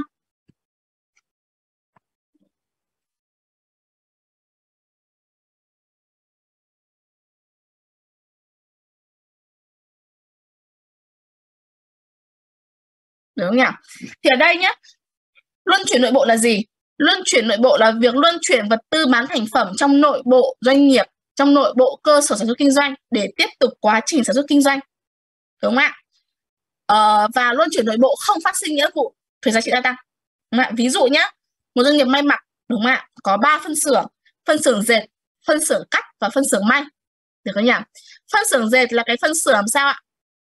Là cái phân xưởng là dùng sợi đấy mua sợi về rồi nhập sợi vào để dệt ra vải. Vải sau khi dệt xong được chuyển ra phân xưởng cắt. Phân xưởng cắt cắt vải thành hình xong rồi chuyển ra phân xưởng may. Đúng không? và may, phân xưởng may may thành cái quần, cái áo. Đúng không ạ? Đó là ba cái ba cái phân xưởng trong doanh nghiệp. Thì em người hình dung là gì ạ? Cái việc là luân chuyển vải và vải dệt xong ra phân xưởng, cắt cắt cắt xong ra phân xưởng may được gọi là luân chuyển nội bộ. Tức là luân chuyển vật tư bán thành phẩm trong nội bộ cơ sở sản xuất kinh doanh để tiếp tục quá trình sản xuất kinh doanh. Đúng không ạ? Được gọi là luân chuyển nội bộ thì sẽ không phát sinh nghĩa vụ thuế giá trị gia tăng. Được không nhỉ? Còn tiêu dùng nội bộ là gì? Tiêu dùng nội bộ là việc mình sử dụng trực tiếp đúng không ạ? Sử dụng trực tiếp những cái hàng hóa dịch vụ do mình sản, sản xuất kinh doanh đúng không ạ? Để phục vụ cho một cái hoạt động nào đấy của doanh nghiệp là của cơ sở sản, sản xuất kinh doanh đúng không ạ? Thì được gọi là tiêu dùng nội bộ. Có nghĩa là mình hưởng lợi trực tiếp và dùng dùng chính sản phẩm đó đúng không ạ? Dùng chính sản phẩm do mình sản xuất kinh doanh để phục vụ cho những hoạt động đúng không ạ của doanh nghiệp mình. Và thay vì mình bỏ tiền ra mua của người khác đúng không ạ? Thì mình lại dùng luôn chính hàng của mình đúng rồi được gọi là tiêu dùng nội bộ. Thì tiêu dùng nội bộ nó sẽ có phát sinh nghĩa vụ liên quan đến thuế giá thuế giá trị gia tăng. Nhưng mà liên quan như thế nào? Thì đối với tiêu dùng nội bộ nó, nó sẽ có hai nó sẽ có hai trường hợp. Đầu tiên là tiêu dùng nội bộ phục vụ sản xuất kinh doanh. Đúng không ạ? Và thứ hai là tiêu dùng nội bộ không phục vụ sản xuất kinh doanh được không nhỉ? Ví dụ nhá, thế nào gọi là tiêu dùng nội bộ này? Giả sử mình là sản xuất bánh chẳng hạn, đúng nhé bánh bánh kẹo thì mình sử dụng một nghìn hộp bánh để phục vụ cho hội nghị khách hàng của công ty, đúng không ạ? Hội khách hàng của công ty, đúng không ạ? Như vậy là gì ạ? Sử dụng thay mình bỏ tiền ra, mình mua bánh của người khác về để dùng, thì mình dùng luôn cái bánh của mình sản xuất ra để phục vụ cho khách hàng của công ty, đúng không ạ? Thì ở đây mình sẽ thấy là gì ạ? Nó là dùng nội bộ đấy mà đã dùng luôn hàng hóa của mình, đúng không ạ? Hoặc là gì ạ? Mình ờ, sản xuất quạt chẳng hạn. Đúng không ạ, quạt sau khi sản xuất xong. Thì làm sao? Thì bắt đầu là dùng cái quạt đó lắp vào nhà xưởng, lắp vào văn phòng. Đúng không ạ. Thì cũng là cái vùng nội bộ. Đấy thay vì bỏ tiền ra mua quạt của người khác để lắp. Đúng không ạ, thì mình dùng luôn cái quạt của mình. Đúng không ạ, để gọi là tiêu dùng nội bộ. Thì tiêu dùng nội bộ là hoạt động sử dụng những cái hàng hóa dịch vụ do chính sản xuất kinh doanh để phục vụ cho những cái hoạt động của bản thân mình. Và cái hoạt động đó nó liên quan trực tiếp đến sản xuất kinh doanh. Được gọi là tiêu dùng nội bộ sản xuất kinh doanh ví dụ như gì ạ? Lắp quạt đấy trong nhà xưởng trong văn phòng này. Thì nhà xưởng văn phòng là những cái tài sản gắn liền gắn trực tiếp đối với hoạt động sản xuất, sản xuất kinh doanh đúng không ạ? Thì được gọi là tiêu dùng nội bộ gì ạ? Phục vụ kinh doanh đúng không ạ? Hoặc là gì ạ? Dùng bánh đấy để phục vụ cho hội khách hàng đúng ạ? Đúng không ạ? Người hiểu là hội khách hàng là một cái hoạt động gắn liền gắn trực tiếp hoạt động kinh doanh đúng không ạ? Như vậy được cái hoạt động mà gì ạ? Dùng một nghìn hộp bánh do mình sản xuất ra để phục vụ khách hàng chẳng hạn đúng không ạ? Nó là trường hợp là gì ạ? Tiêu dùng nội bộ phục vụ kinh doanh đúng không ạ? Còn giả sử nhá, mát là chuyến đi picnic ấy đúng không ạ? Nó không phải là hoạt động kinh doanh. Được không nhỉ? Nên chính vì thế làm sao ạ? Chúng ta nhớ là gì ạ? Trong trường hợp đấy thì sao? Sẽ không nó sẽ là cái gọi là tiêu dùng nội bộ, không phục vụ kinh doanh. Đúng không ạ? Trong trường hợp tiêu dùng nội bộ phục vụ kinh doanh, đúng không ạ? Đây là chúng ta không phải kê khai tính nộp thuế giá trị gia tăng.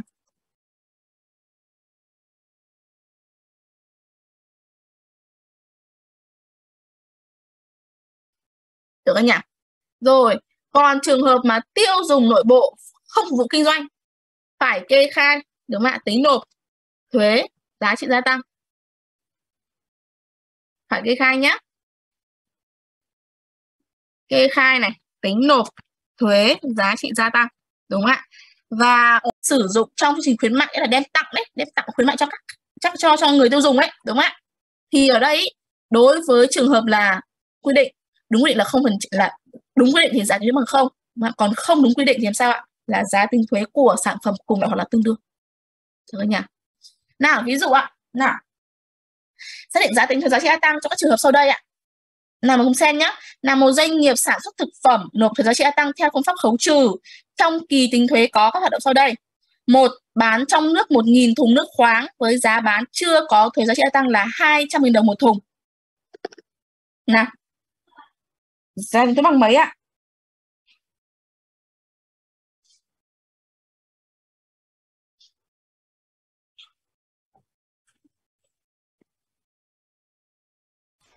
Hai triệu hai hai triệu.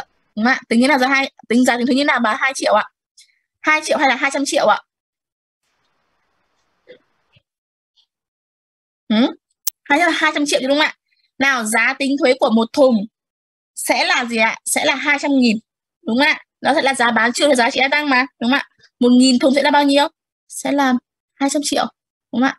Là 200 nghìn nhân một nghìn là bằng 200 triệu đúng không nhỉ? Trả thay lương cho cán bộ nhân viên 200 thùng.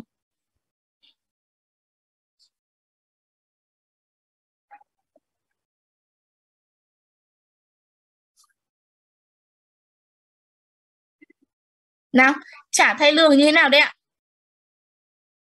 Có phải kê khai không? Có có có, có phải kê khai theo giá nào đây ạ? Theo giá trên thị trường.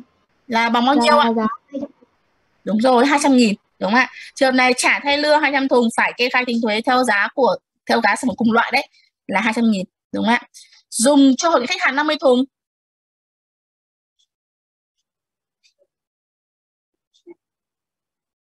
Nào dùng cho hội khách hàng 50 thùng. Không phải tính thuế ạ. Không phải kê khai tính thuế bởi vì sao ạ? Tại vì đây là dùng cho mục đích kinh doanh ạ. Đúng ạ đây là tiêu dùng nội bộ đúng không ạ phục vụ kinh doanh. Chính xác. Như vậy không phải kê khai tính thuế. Khuyến mại theo quy định 300 thùng ạ. Không phải kê khai thuế ạ. Ừ, không phải không phải kê khai thuế có phải kê khai không? Nào. Có nhưng mà giá trị không. Đúng rồi phải kê khai nhá vẫn phải kê khai nhưng mà có giá tính thuế bằng không? Được không nhỉ? Thế nếu không đúng thì không đúng thì sao ạ? Không đúng thì vẫn phải tính bình thường à, tính thì là là là tính như thế nào? Theo giá bao nhiêu ạ? 200 nghìn rồi nếu không đúng quy định thì tính theo giá của sản phẩm cùng loại đúng không ạ? 200 nghìn. Đấy, chính xác. Đúng nhỉ? Rồi tiếp theo ạ trường hợp tiếp theo trong việc xác định giá tính thuế đây là trường hợp là giá tính thuế giá trị gia tăng đối với trường hợp cho thuê tài sản đúng không ạ? Thì ở đây ý, đối với trường hợp cho thuê tài sản ấy thì sẽ có hai tình huống xảy ra. Tình huống thứ nhất đó là chúng ta thu về tiền thuê từng kỳ. Đúng không ạ? Kỳ nào thu tiền kỳ đó. Thứ hai đó là gì ạ? Thu tiền một lần cho nhiều kỳ. Thì ở đây tiền thuê giá tính thuế ở đây nó, nó sẽ là tiền thuê trong trường hợp là từng kỳ nhé thu về từng kỳ ấy, nó sẽ là cái tiền thuê từng kỳ. Đúng không ạ? Chưa có thuế giá trị gia tăng. Đúng không ạ? Còn trường hợp là gì ạ? Là chúng ta thu tiền một lần cho nhiều kỳ nhé thì không phải phân bổ gì đâu, đúng không ạ? Mà cứ thu về bao nhiêu, chúng ta tính thuế luôn bấy nhiêu là số tiền thu về một lần, không có thuế giá trị gia tăng. Cái số tiền thu về trước ấy rồi là chúng ta thu về trước đấy nếu mà theo doanh thu nhá, doanh thu thì phải phân bổ, đúng không ạ? Doanh thu kỳ nào tính ra kỳ đó, đúng không ạ? Nhưng đối với giá trị gia tăng là gì? Sẽ không cần quan tâm là nó là doanh thu của kỳ nào, mà chỉ quan tâm là cái giá trị được phản ánh trên tờ hóa đơn giá trị tăng là bao nhiêu thôi, đúng không ạ? Và anh đã phải xuất hóa đơn giá gia tăng là như thế thì anh sẽ phải tính thuế luôn theo cái giá như vậy. Đúng không không phải phân bổ đến kỳ này mới tính hay là kỳ sau mới tính. Ví dụ không ạ? Rồi nhá. Ví dụ này, doanh nghiệp cho thuê văn phòng trong kỳ tính thuế này có hoạt động như sau. Cho B thuê, tiền thuê giá, tiền thuê chưa được giá trị gia tăng, đúng không ạ? Trả trong tháng là 20 triệu đồng một tháng. Nào, trường hợp này làm sao đây ạ? Tính theo giá nào đây? Tính theo giá thu tiền thuê từng kỳ ạ. Là hai là 20 triệu đúng không ạ? Trường hợp này là thu từng kỳ là 20 triệu. Rồi cho C thuê. Tiền thuê chưa thể giá trị gia tăng trả trong tháng mà mình thu về luôn đấy là C trả một cục là 120 triệu trong 6 tháng. Trường hợp này tính theo giá nào đây ạ? 120 triệu. Rồi tính luôn trên phần giá trị thu về trước là 120 triệu. Rồi nhớ chứ phải phân bổ đâu đúng không ạ? Không phải phân bổ gì nhá. Nha rồi tiếp theo ạ đó là hoạt động bán hàng trả góp trả chậm đúng không ạ. Mọi người hình dung nhé đó là gì ạ? Cái hoạt động bán hàng trả ốc trả chậm ý nó sẽ khác với hoạt động bán hàng thông thường ở chỗ nhất đó là gì ạ? Thu tiền trong nhiều kỳ. Đúng không ạ không thu tiền được ngay đâu mà thu tiền trong nhiều kỳ. Và thứ hai là có phát sinh một khoản thêm vào đó là cái khoản tiền lãi trả góp trả chậm. Đúng không ạ. Mặc dù cái hình thức thu tiền bán hàng và cái giá trị số tiền thu về ấy, nó sẽ khác với cái hoạt động là bán hàng thu tiền ngay. Đúng không ạ. Nhưng ở đây đối với thuế giá trị gia tăng nhớ nhé đối với thuế giá trị gia tăng thì giá tính thuế giá trị gia tăng của hàng hóa bán theo phương thức trả góp trả chậm bằng đúng giá tính thuế như trường hợp chúng ta bán hàng thu tiền một lần. Đúng không ạ? Không bao gồm lãi trả góp trả chậm. Hình dung mạng nghĩa là trả góp trả chậm hay là bán hàng thu tiền ngay thì giá tính thuế là như nhau. Đúng không ạ? Giống là là là, là giá tính thuế như trường hợp bán hàng thu tiền ngay. Mà không bao gồm lãi trả góp trả chậm.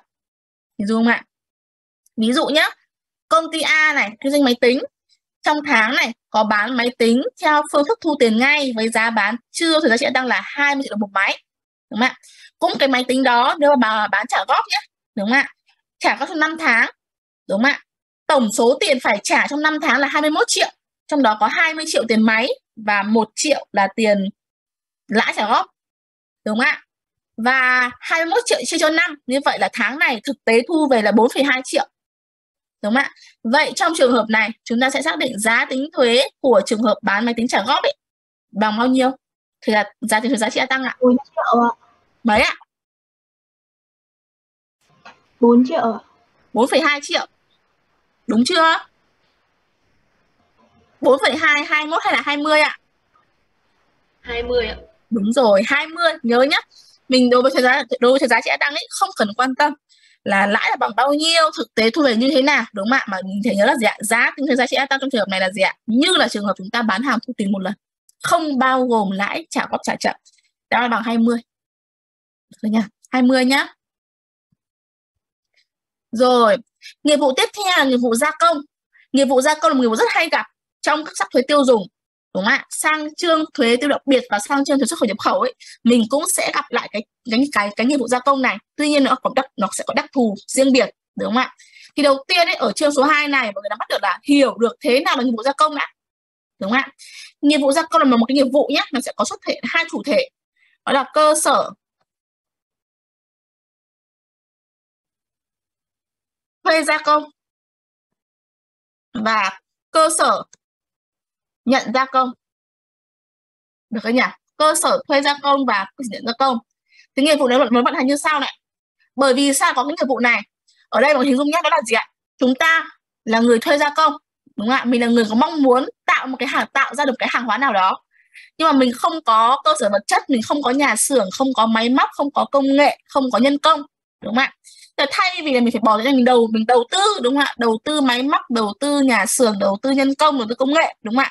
Thì có một cái ông khác có sẵn đấy rồi. Sẵn nhà xưởng sẵn máy móc sẵn thiết bị sẵn công nghệ sẵn nhân công rồi. Mà bây giờ tôi thuê. Thuê đặt đặt đặt, đặt hàng là tôi thuê ông làm cái hàng hóa này theo yêu cầu của tôi đúng không ạ? Giả sử may cái quần áo này đấy chẳng hạn đúng không ạ? Theo cái mẫu mã mà tôi yêu mà mà mà, mà tôi muốn chẳng hạn đúng không ạ? Thì ở đây về cơ bản thì vụ gia công là gì? Là cơ sở thuê gia công sẽ cung cấp nguyên liệu vật liệu cho cơ sở nhận gia công. Cơ sở nhận gia công làm sao ạ? Sẽ sử dụng nguyên liệu vật liệu này đúng không ạ? Để tạo ra hàng hóa. Để tạo ra hàng hóa. Sản, sản xuất ra hàng hóa đấy đúng không ạ? Và sau khi đó sẽ hoàn trả lại số hoàn trả cái cái hàng hóa này cho cơ sở thuê gia công. Và cơ sở thuê gia công sẽ có hàng hóa mà mình mong muốn đúng không ạ? Để tiến hành tiêu thụ. Được không nhỉ? Đây là nguyên liệu vật liệu. Được chưa ạ? Đây là ra hàng hóa được không nhỉ cơ sở thuê gia công ra cái gì ạ? Ra rồi bán bán. Đúng không ạ? Rồi. Thì khi đó ấy, sau khi thì ông nhận gia công thu được cái gì thì ông thuê gia công sẽ phải hoàn trả cho ông nhận gia công một cái khoản tiền mang tên gọi là tiền gia công. Hay gọi là giá gia công ấy tiền gia công. Cái tiền gia công này nó bao gồm cái yếu tố gì? Đúng không ạ? Thì tiền gia công ở đây nó sẽ bao gồm cái yếu tố như sau tiền công đúng không ạ gọi là tiền công gia công đúng nhỉ là anh thuê cái tôi cung dịch vụ đấy đúng không? dịch vụ gia công cho anh thì tôi phải bỏ uh, sử dụng khấu hao nhà xưởng máy móc thiết bị nhân công nhé đúng không? có tiền công đúng không? có tiền công gia công là cái chính này cái thứ hai ấy đó là gì ạ cái này là đó gì ạ đó là bên cạnh những cái nguyên liệu vật liệu chính ấy, mà ông thuê gia công cung cấp thì ông nhận gia công phải cung cấp thêm nếu phải cung cấp thêm những cái chi phí nguyên liệu vật liệu phụ khác nữa mà giả sử nhá giờ muốn may một cái quần chẳng hạn thì ông thuê gia công thì ông ta cung cấp vải. Vải đặc biệt đúng không ạ? Mà ông thuê gia công mong muốn là dẫn, ừ, sản xuất cái cái cái cái quần cái vải đó đúng không ạ? Thì làm sao ạ? Thì bây giờ để tạo ra cái quần thì vải không phải là tất cả đúng không ạ? Phải có chỉ này có chun này rồi có khóa này à, có cúc này có phép mũi tuyên này vân vân đúng không ạ? Đó nhưng thì những cái phụ phụ như vậy thì ông cơ sở nhận gia công đã cung cấp chẳng hạn đúng không ạ. Thì khi đó ông cơ sở thuê gia công cũng sẽ phải hoàn trả lại cho nhận gia công các khoản chi phí đó. Đúng không ạ. Là chi phí về nguyên vật liệu đúng không ạ. Nguyên liệu vật liệu phụ này đúng không ạ. Hoặc là chi phí liên quan đến uh, năng lượng này đúng không ạ. Năng lượng này động lực này động lực vân vân. Và các khoản chi phí khác đúng không ạ. Mà ông mà ông mà ông nhận gia công ông ra cung cấp ấy cho việc tạo nên hàng hóa cho việc gia công hàng hóa đúng không ạ? Thì phải trả lại cho ông cứ nhận gia công đúng không ạ? Thì trong trường hợp này ông nhận gia công đấy là có người có doanh thu là nhận về tiền gia công mà là người gọi là người có doanh thu. Thì trong trường hợp này giá tính thuế giá trị gia tăng nó sẽ là cái giá nào ạ? Là nó sẽ là cái tiền công là nhớ một số là cái tiền gia công này này đúng không ạ? Không bao gồm thuế giá trị gia tăng đúng không ạ? Nhớ nhá đó mọi người hình dung ra, ra được là cái cơ chế vận hành của gia công nó là như thế nào? Đúng không ạ? Và cái khoản tiền mà bên nhận gia công nhận được sau khi kết thúc dịch vụ gia công là như thế nào? Đúng không ạ? Rồi, ví dụ này, trong kỳ này công ty A nhận gia công cho công ty B, đúng không ạ? Tiền công gia công là 100 triệu, giá trị nguyên liệu vật liệu phụ do A cung cấp chưa thuế giá trị gia tăng là 150 triệu, đúng không ạ? Giá trị nguyên liệu vật liệu chính do B cung cấp chưa thuế giá trị tăng là 200 triệu. Xác định giá tính thuế, giá trị gia tăng của công ty A Cô là 250 triệu. Ừ, tính ra là 250 ạ.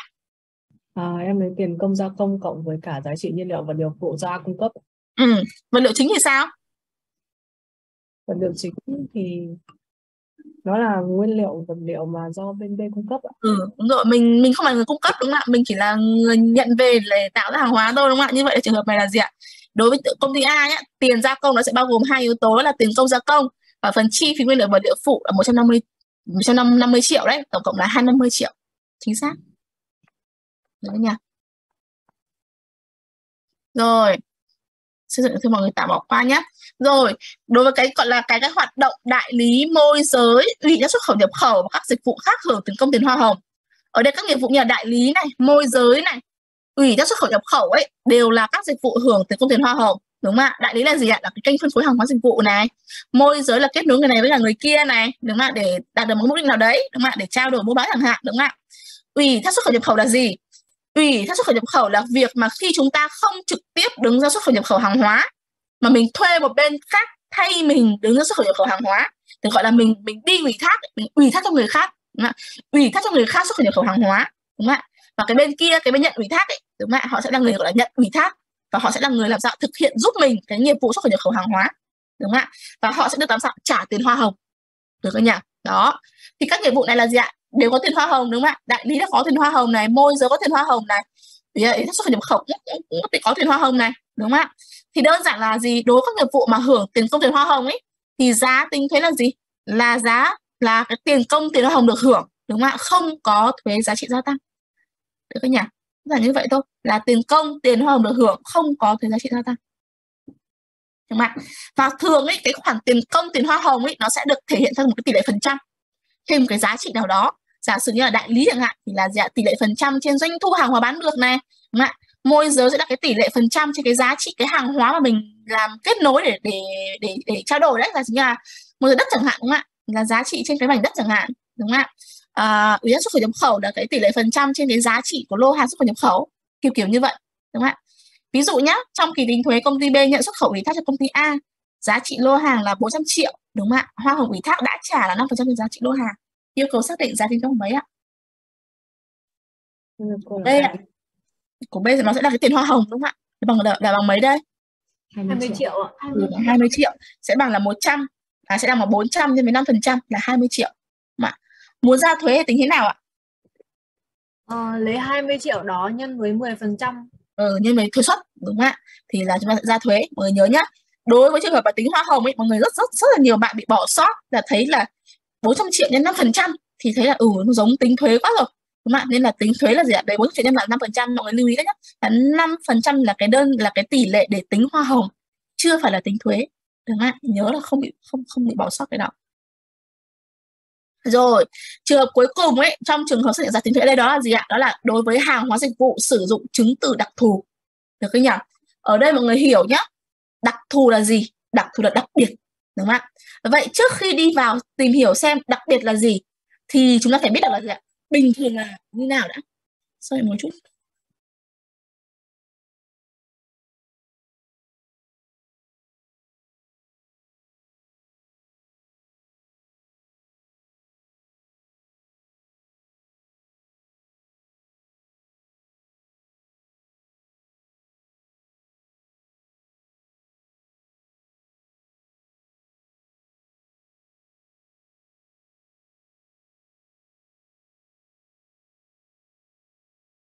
Rồi thế trước khi mà chúng ta muốn tìm hiểu là gì ạ? Là thế nào là, là đặc biệt thì phải nắm được thế nào là bình thường đã đúng không ạ? Thế bình thường như sau nhé trong trường hợp chúng ta là cơ sở sản xuất kinh doanh khi chúng ta bán hàng hóa và dịch vụ được không nhỉ? Thì chúng ta sẽ phải xuất một cái chứng từ mang tên gọi và chúng ta là người nộp thuế sẽ trị tăng khấu trừ nhé đúng không ạ? Thì khi bán hàng hóa hay là cung dịch vụ ấy mình sẽ phải xuất một cái chứng từ mang tên gọi là hóa đơn giá trị gia tăng. Đúng không ạ? Và cái mặt mũi của nó như sau.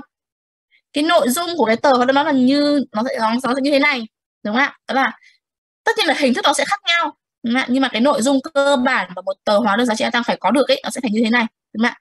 Bao gồm là gì ạ? Thông tin về người mua người bán này. Đúng không ạ? Thông tin về người mua người bán.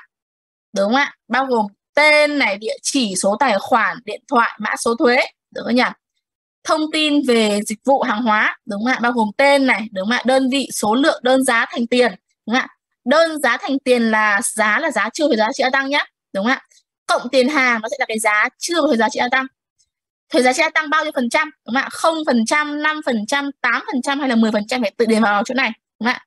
Rồi nhân với cả giá chưa thuế, đúng không ạ? Thì ra được cái gọi là thuế giá trị gia tăng, đúng không ạ? Cộng tổng hai này vào được gọi là giá thanh toán, đúng không ạ? Tổng là thanh toán được không nhỉ? Thì đây được gọi là gì ạ? Là một cái tờ hóa đơn giá trị tăng bình thường đúng không ạ? Bình thường. Ờ, mà khi chúng ta là người nộp thuế giá trị tăng khấu trừ nhé đúng không ạ? Và khi bán hàng hóa cung dịch vụ đúng không ạ? Thì sẽ phải làm sao? Sẽ phải lập một cái chứng từ và có đầy đủ ghi phản ánh đầy đủ nhé chính xác tất cả các cái yếu tố trong cái tờ hóa đơn này. Được không nhỉ? Và thế nào được gọi là đặc thù? Thế nào được gọi là đặc biệt?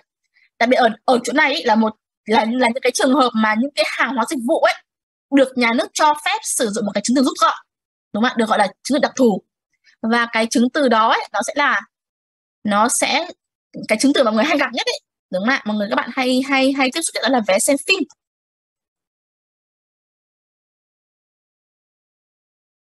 Vé xem phim. Đúng không nhỉ? Bản thân vé xem phim là một cái chứng từ là một là một cái tờ hóa đơn. Đúng không ạ? Và cái tờ hóa đơn đó nó sẽ đặc thù như thế nào? Mọi người sẽ thấy như sau đây ạ. Đặc thù ở chỗ là là là gì ạ? Là trên cái giá và trên chứng từ đó ấy. Đúng không ạ? Giá trên chứng từ nhá. Là cái giá làm sao ạ? Thanh toán. Đây này. Là giá đã bao gồm 5% giá, giá trị gia tăng. Ví dụ như là trường hợp cái vé này nhá. Đúng không ạ? Là 65.000 này. Là đã bao gồm 5% VAT rồi. Đúng không ạ? Đã bao gồm 5% thuế giá trị gia tăng rồi. Đúng không ạ? Đây là có nghĩa là 65.000 là gì ạ? Là giá thanh toán. Như vậy là cái cái chứng từ này là cái chứng từ rút gọn đúng không ạ? Nghĩa là nó không phản ánh chính xác cả ba con số là giá bán chưa thuế là thuế và giá, và giá, và giá thanh toán đâu đúng không ạ? Mà nó chỉ phản ánh một giá nhất là gì ạ? Là giá thanh toán thôi. Như vậy là gì ạ? Đối với những cái trường hợp mà những cái hàng hóa dịch vụ ấy được nhà nước cho phép sử dụng như đặc thù là chứng từ chỉ có phản ánh giá thanh toán phản ánh nhất là giá thanh toán đúng không ạ?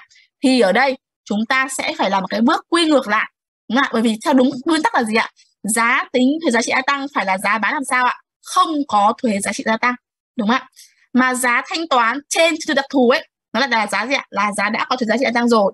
Như vậy là sao ạ? Chúng sẽ phải được cách xác định bằng cách là gì ạ? Lấy lấy gì ạ? Lấy uh, lấy giá thanh toán trên chứng từ đúng không ạ? Giá thanh toán trên chứng từ chia cho bao nhiêu ạ? Một cộng với thuế suất thuế giá trị gia tăng của hàng hóa và dịch vụ đúng không ạ? Thì ra được giá tính thuế giá trị gia tăng là cái giá bán chưa có thuế giá trị gia tăng đúng đúng không ạ? Nhưng mà tuy nhiên mọi người nhớ nhất là gì ạ? Cái việc mà sử dụng chứng đặc thù ấy sẽ chỉ được áp dụng đối với một số loại hàng và dịch vụ sau đây thôi nhé đó là gì ạ? Dịch vụ vận tải. Dịch vụ vận tải như là vé tàu, vé xe. Đúng dịch vụ vận tải nhé thứ hai là các dịch vụ liên quan đến xem biểu diễn văn hóa, văn nghệ, thể dục, thể thao. Là xem phim, xem ca nhạc, xem múa dối xem siếc vân vân. Là các loại vé thì liên quan đến văn hóa, văn hệ văn hóa, văn nghệ đấy hoặc thể dục, thể thao nhé thứ ba là tem tem mà dán bì thư ấy. Được nhỉ? Và thứ tư đó là cái vé sổ số. Cái vé sổ số mà các bạn mà đi mua sổ số thấy là cái vé sổ số bản thân nó là một cái chứng từ đặc thù, là một cái hóa đơn ấy. nó là hóa đơn luôn. Nó bao gồm thuế rồi. Được không nhỉ? Nhớ nhá, là chỉ được áp dụng chứng từ đặc thù trong một số các loại hàng dịch vụ như vừa, như chúng ta vừa nói thôi, đúng không ạ? Còn lại các cái trường hợp khác phải có hóa đơn giá trị gia tăng và phản ánh đầy đủ chính xác các yếu tố trên tờ hóa đơn đó. Đúng không ạ? Và trong trường hợp dư đặc, dư đặc thù đúng quy định nhé thì sẽ phải tính một cái bước là tính giá tính thuế bằng cách là lấy giá thanh toán chia cho một cộng với thuế suất thuế giá trị gia tăng. Được chưa nhỉ? Rồi ví dụ ạ trong kỳ tính thuế này công ty vận tải A thực hiện chuyên chở 1.000 lượt khách từ Hà Nội đi Thanh Hóa và ngược lại. Giá ghi trên vé là 110.000 đồng một lượt với thuế suất giá trị gia tăng là 10% xác định giá tính thuế giá trị gia tăng trong kỳ của A 100 triệu ạ. Ừ, tính thế nào đây ạ? Lấy 110.000 nhân với cả 1.000 lượt xong rồi chia cho 1 cộng với cả 10%. Ừ. Đầu tiên xác định giá tính thuế đã, ạ? Giá tính thuế của một lượt bằng mấy ạ? Đây là dịch vụ vận tải. Ạ? Vé vé vé xe này nó là cái vé là chứng từ đặc thù rồi. 110.000 là giá thanh toán, là giá đã có thuế giá trị gia tăng rồi. Và đây là dịch vụ được phép áp dụng chứng từ đặc thù đúng không ạ? Như vậy lấy giá cách lấy bằng, bằng cái nào đây ạ? Tính bằng cách nào đây ạ? Lấy 110 nghìn đúng không ạ? Chia cho một cộng mấy phần trăm đây? Một cộng mấy phần trăm ạ? Một cộng 10 phần trăm ạ. Ừ, một cộng 10 phần trăm. Ra được giá tính thuế của một lượt là bằng 100 nghìn đúng không ạ? 100 nghìn đúng không ạ? Nhân với một nghìn lượt đúng không ạ? Thì ra được uh, giá tính thuế của một nghìn lượt là 100 triệu. Được không nhỉ? Đó nhé rồi như vừa nói là gì ạ? Là việc chúng ta áp dụng chứng từ đặc thù nhé sẽ chỉ được áp dụng đối với một số loại hàng hóa dịch vụ ta vừa nói thôi ạ? Còn lại trong trường hợp chúng ta bán hàng hóa và cung cấp dịch vụ khác, thì chúng ta bắt buộc phải xuất hóa đơn giá trị gia tăng và phản ánh đầy đủ chính xác các yếu tố, trong đó bao gồm là gì ạ? Có các yếu tố như là gì ạ? Giá bán chưa thuế thuế và giá thanh toán, đúng không ạ? Tuy nhiên, trong một cái trường hợp mà người bán ghi sai ghi thiếu Vậy là trên hóa đơn giá trị gia tăng nghĩa ra phải phản ánh đầy đủ cả ba giá. Là giá chưa thuế, thuế và giá thanh toán. Thì người bán ở đây họ lại chỉ viết giá thanh toán không thôi. Đúng không ạ? Có là chỉ phản ánh giá thanh toán không thôi. Thì tờ hóa đơn là tờ hóa đơn ghi sai. Hóa đơn ghi sai ghi thiếu ghi sai. Và trong trường hợp ghi sai như vậy nhá thì sẽ phải tính thuế giá trị gia tăng trên giá thanh toán luôn. Nhớ nhá tính thuế giá trị gia tăng trên tổng giá thanh toán chứ không được phép quy ngược lại giống như cái trường hợp là đặc, đặc thù đâu đúng không ạ? Đúng không ạ? Đặc thù thì sao đúng quy định. Do đặc thù nên mới là quy ngược lại. Nên là gì ạ? Là ghi sai ghi thiếu. Và đã ghi sai như thế thì sao ạ? Sẽ phải tính thuế trên giá thanh toán là giá đã có thuế giá trị gia tăng rồi. Có nghĩa là gì ạ? Có nghĩa là sẽ phải tính thuế trên cái giá trị lớn hơn bình thường. Đúng không ạ? Đó là một hình thức phạt đối với việc ghi sai hóa đơn. Đúng không nhỉ?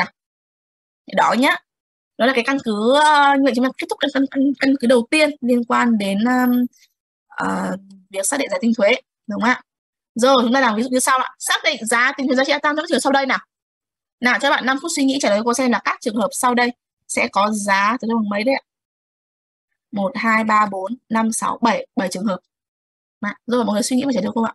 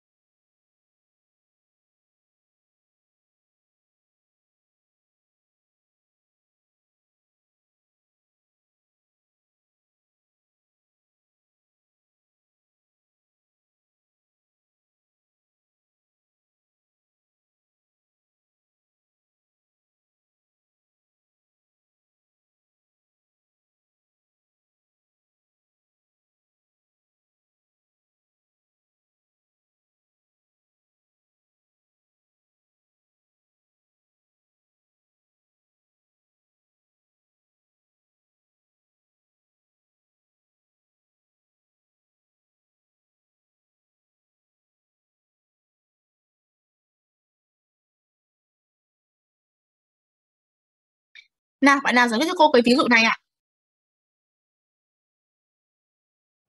Xác định giá tính thuế cho các trường hợp sau đây ạ.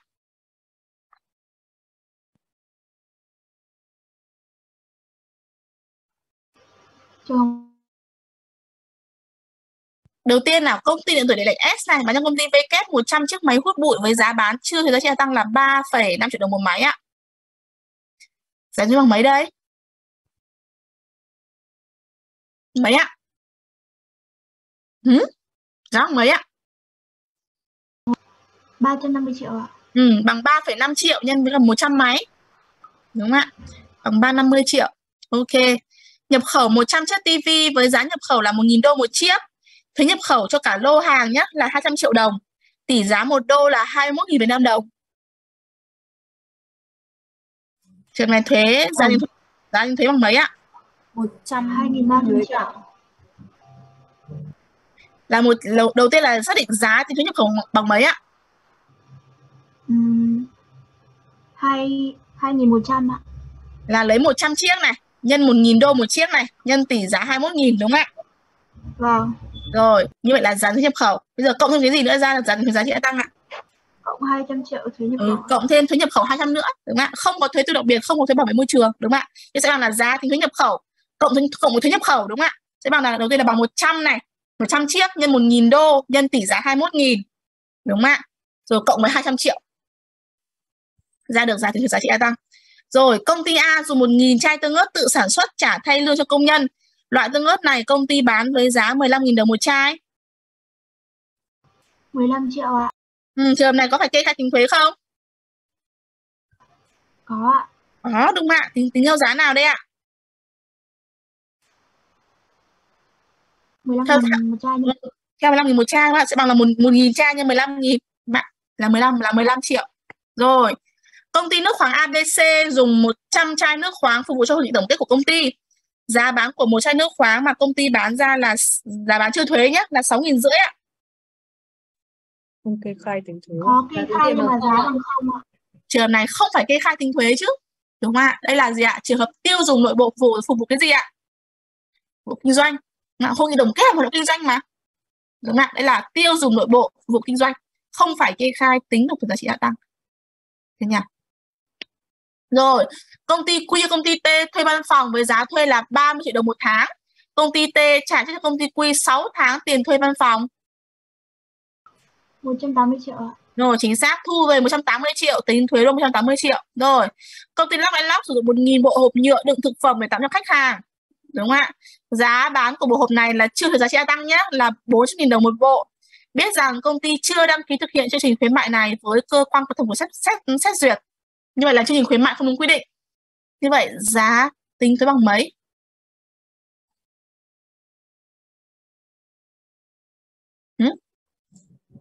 400 nghìn nhân với cả 1 nghìn bộ. Đúng rồi, chính xác. Trường hợp này là khuyến mại không đúng quy định ấy, đúng không ạ? Thì sẽ là xác định theo giá tính của sản phẩm cùng loại thôi, đúng không ạ?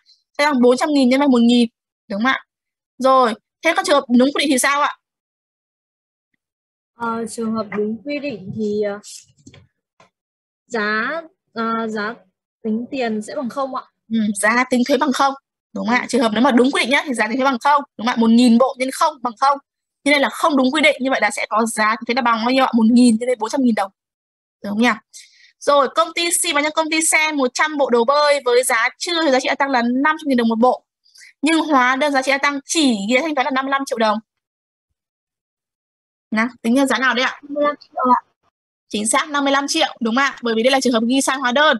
Mà đã ghi sai hóa đơn thì sẽ phải tính thuế trên giá thanh toán là giá đã có thuế giá trị gia tăng rồi là 55 triệu. Đúng không ạ? Ok. Rồi, như vậy chúng ta tạm dừng ở đây. Cái nội dung liên kết thúc nội dung của cái phần liên quan đến căn cứ tính thuế đầu tiên ấy là giá tính thuế. Đúng không ạ? Buổi sau mình sẽ tiếp tục với nội dung liên quan đến thuế, thuế suất và phương pháp tính thuế. Được không nhỉ? Mọi người phải đọc trước nhé. Rồi ai thắc mắc gì không ạ? Ok, rồi mình nghỉ ở đây nhá. Rồi chào cả lớp ở lớp nghỉ ạ. Bye bye các bạn. Là cô ạ. Bye bye các bạn.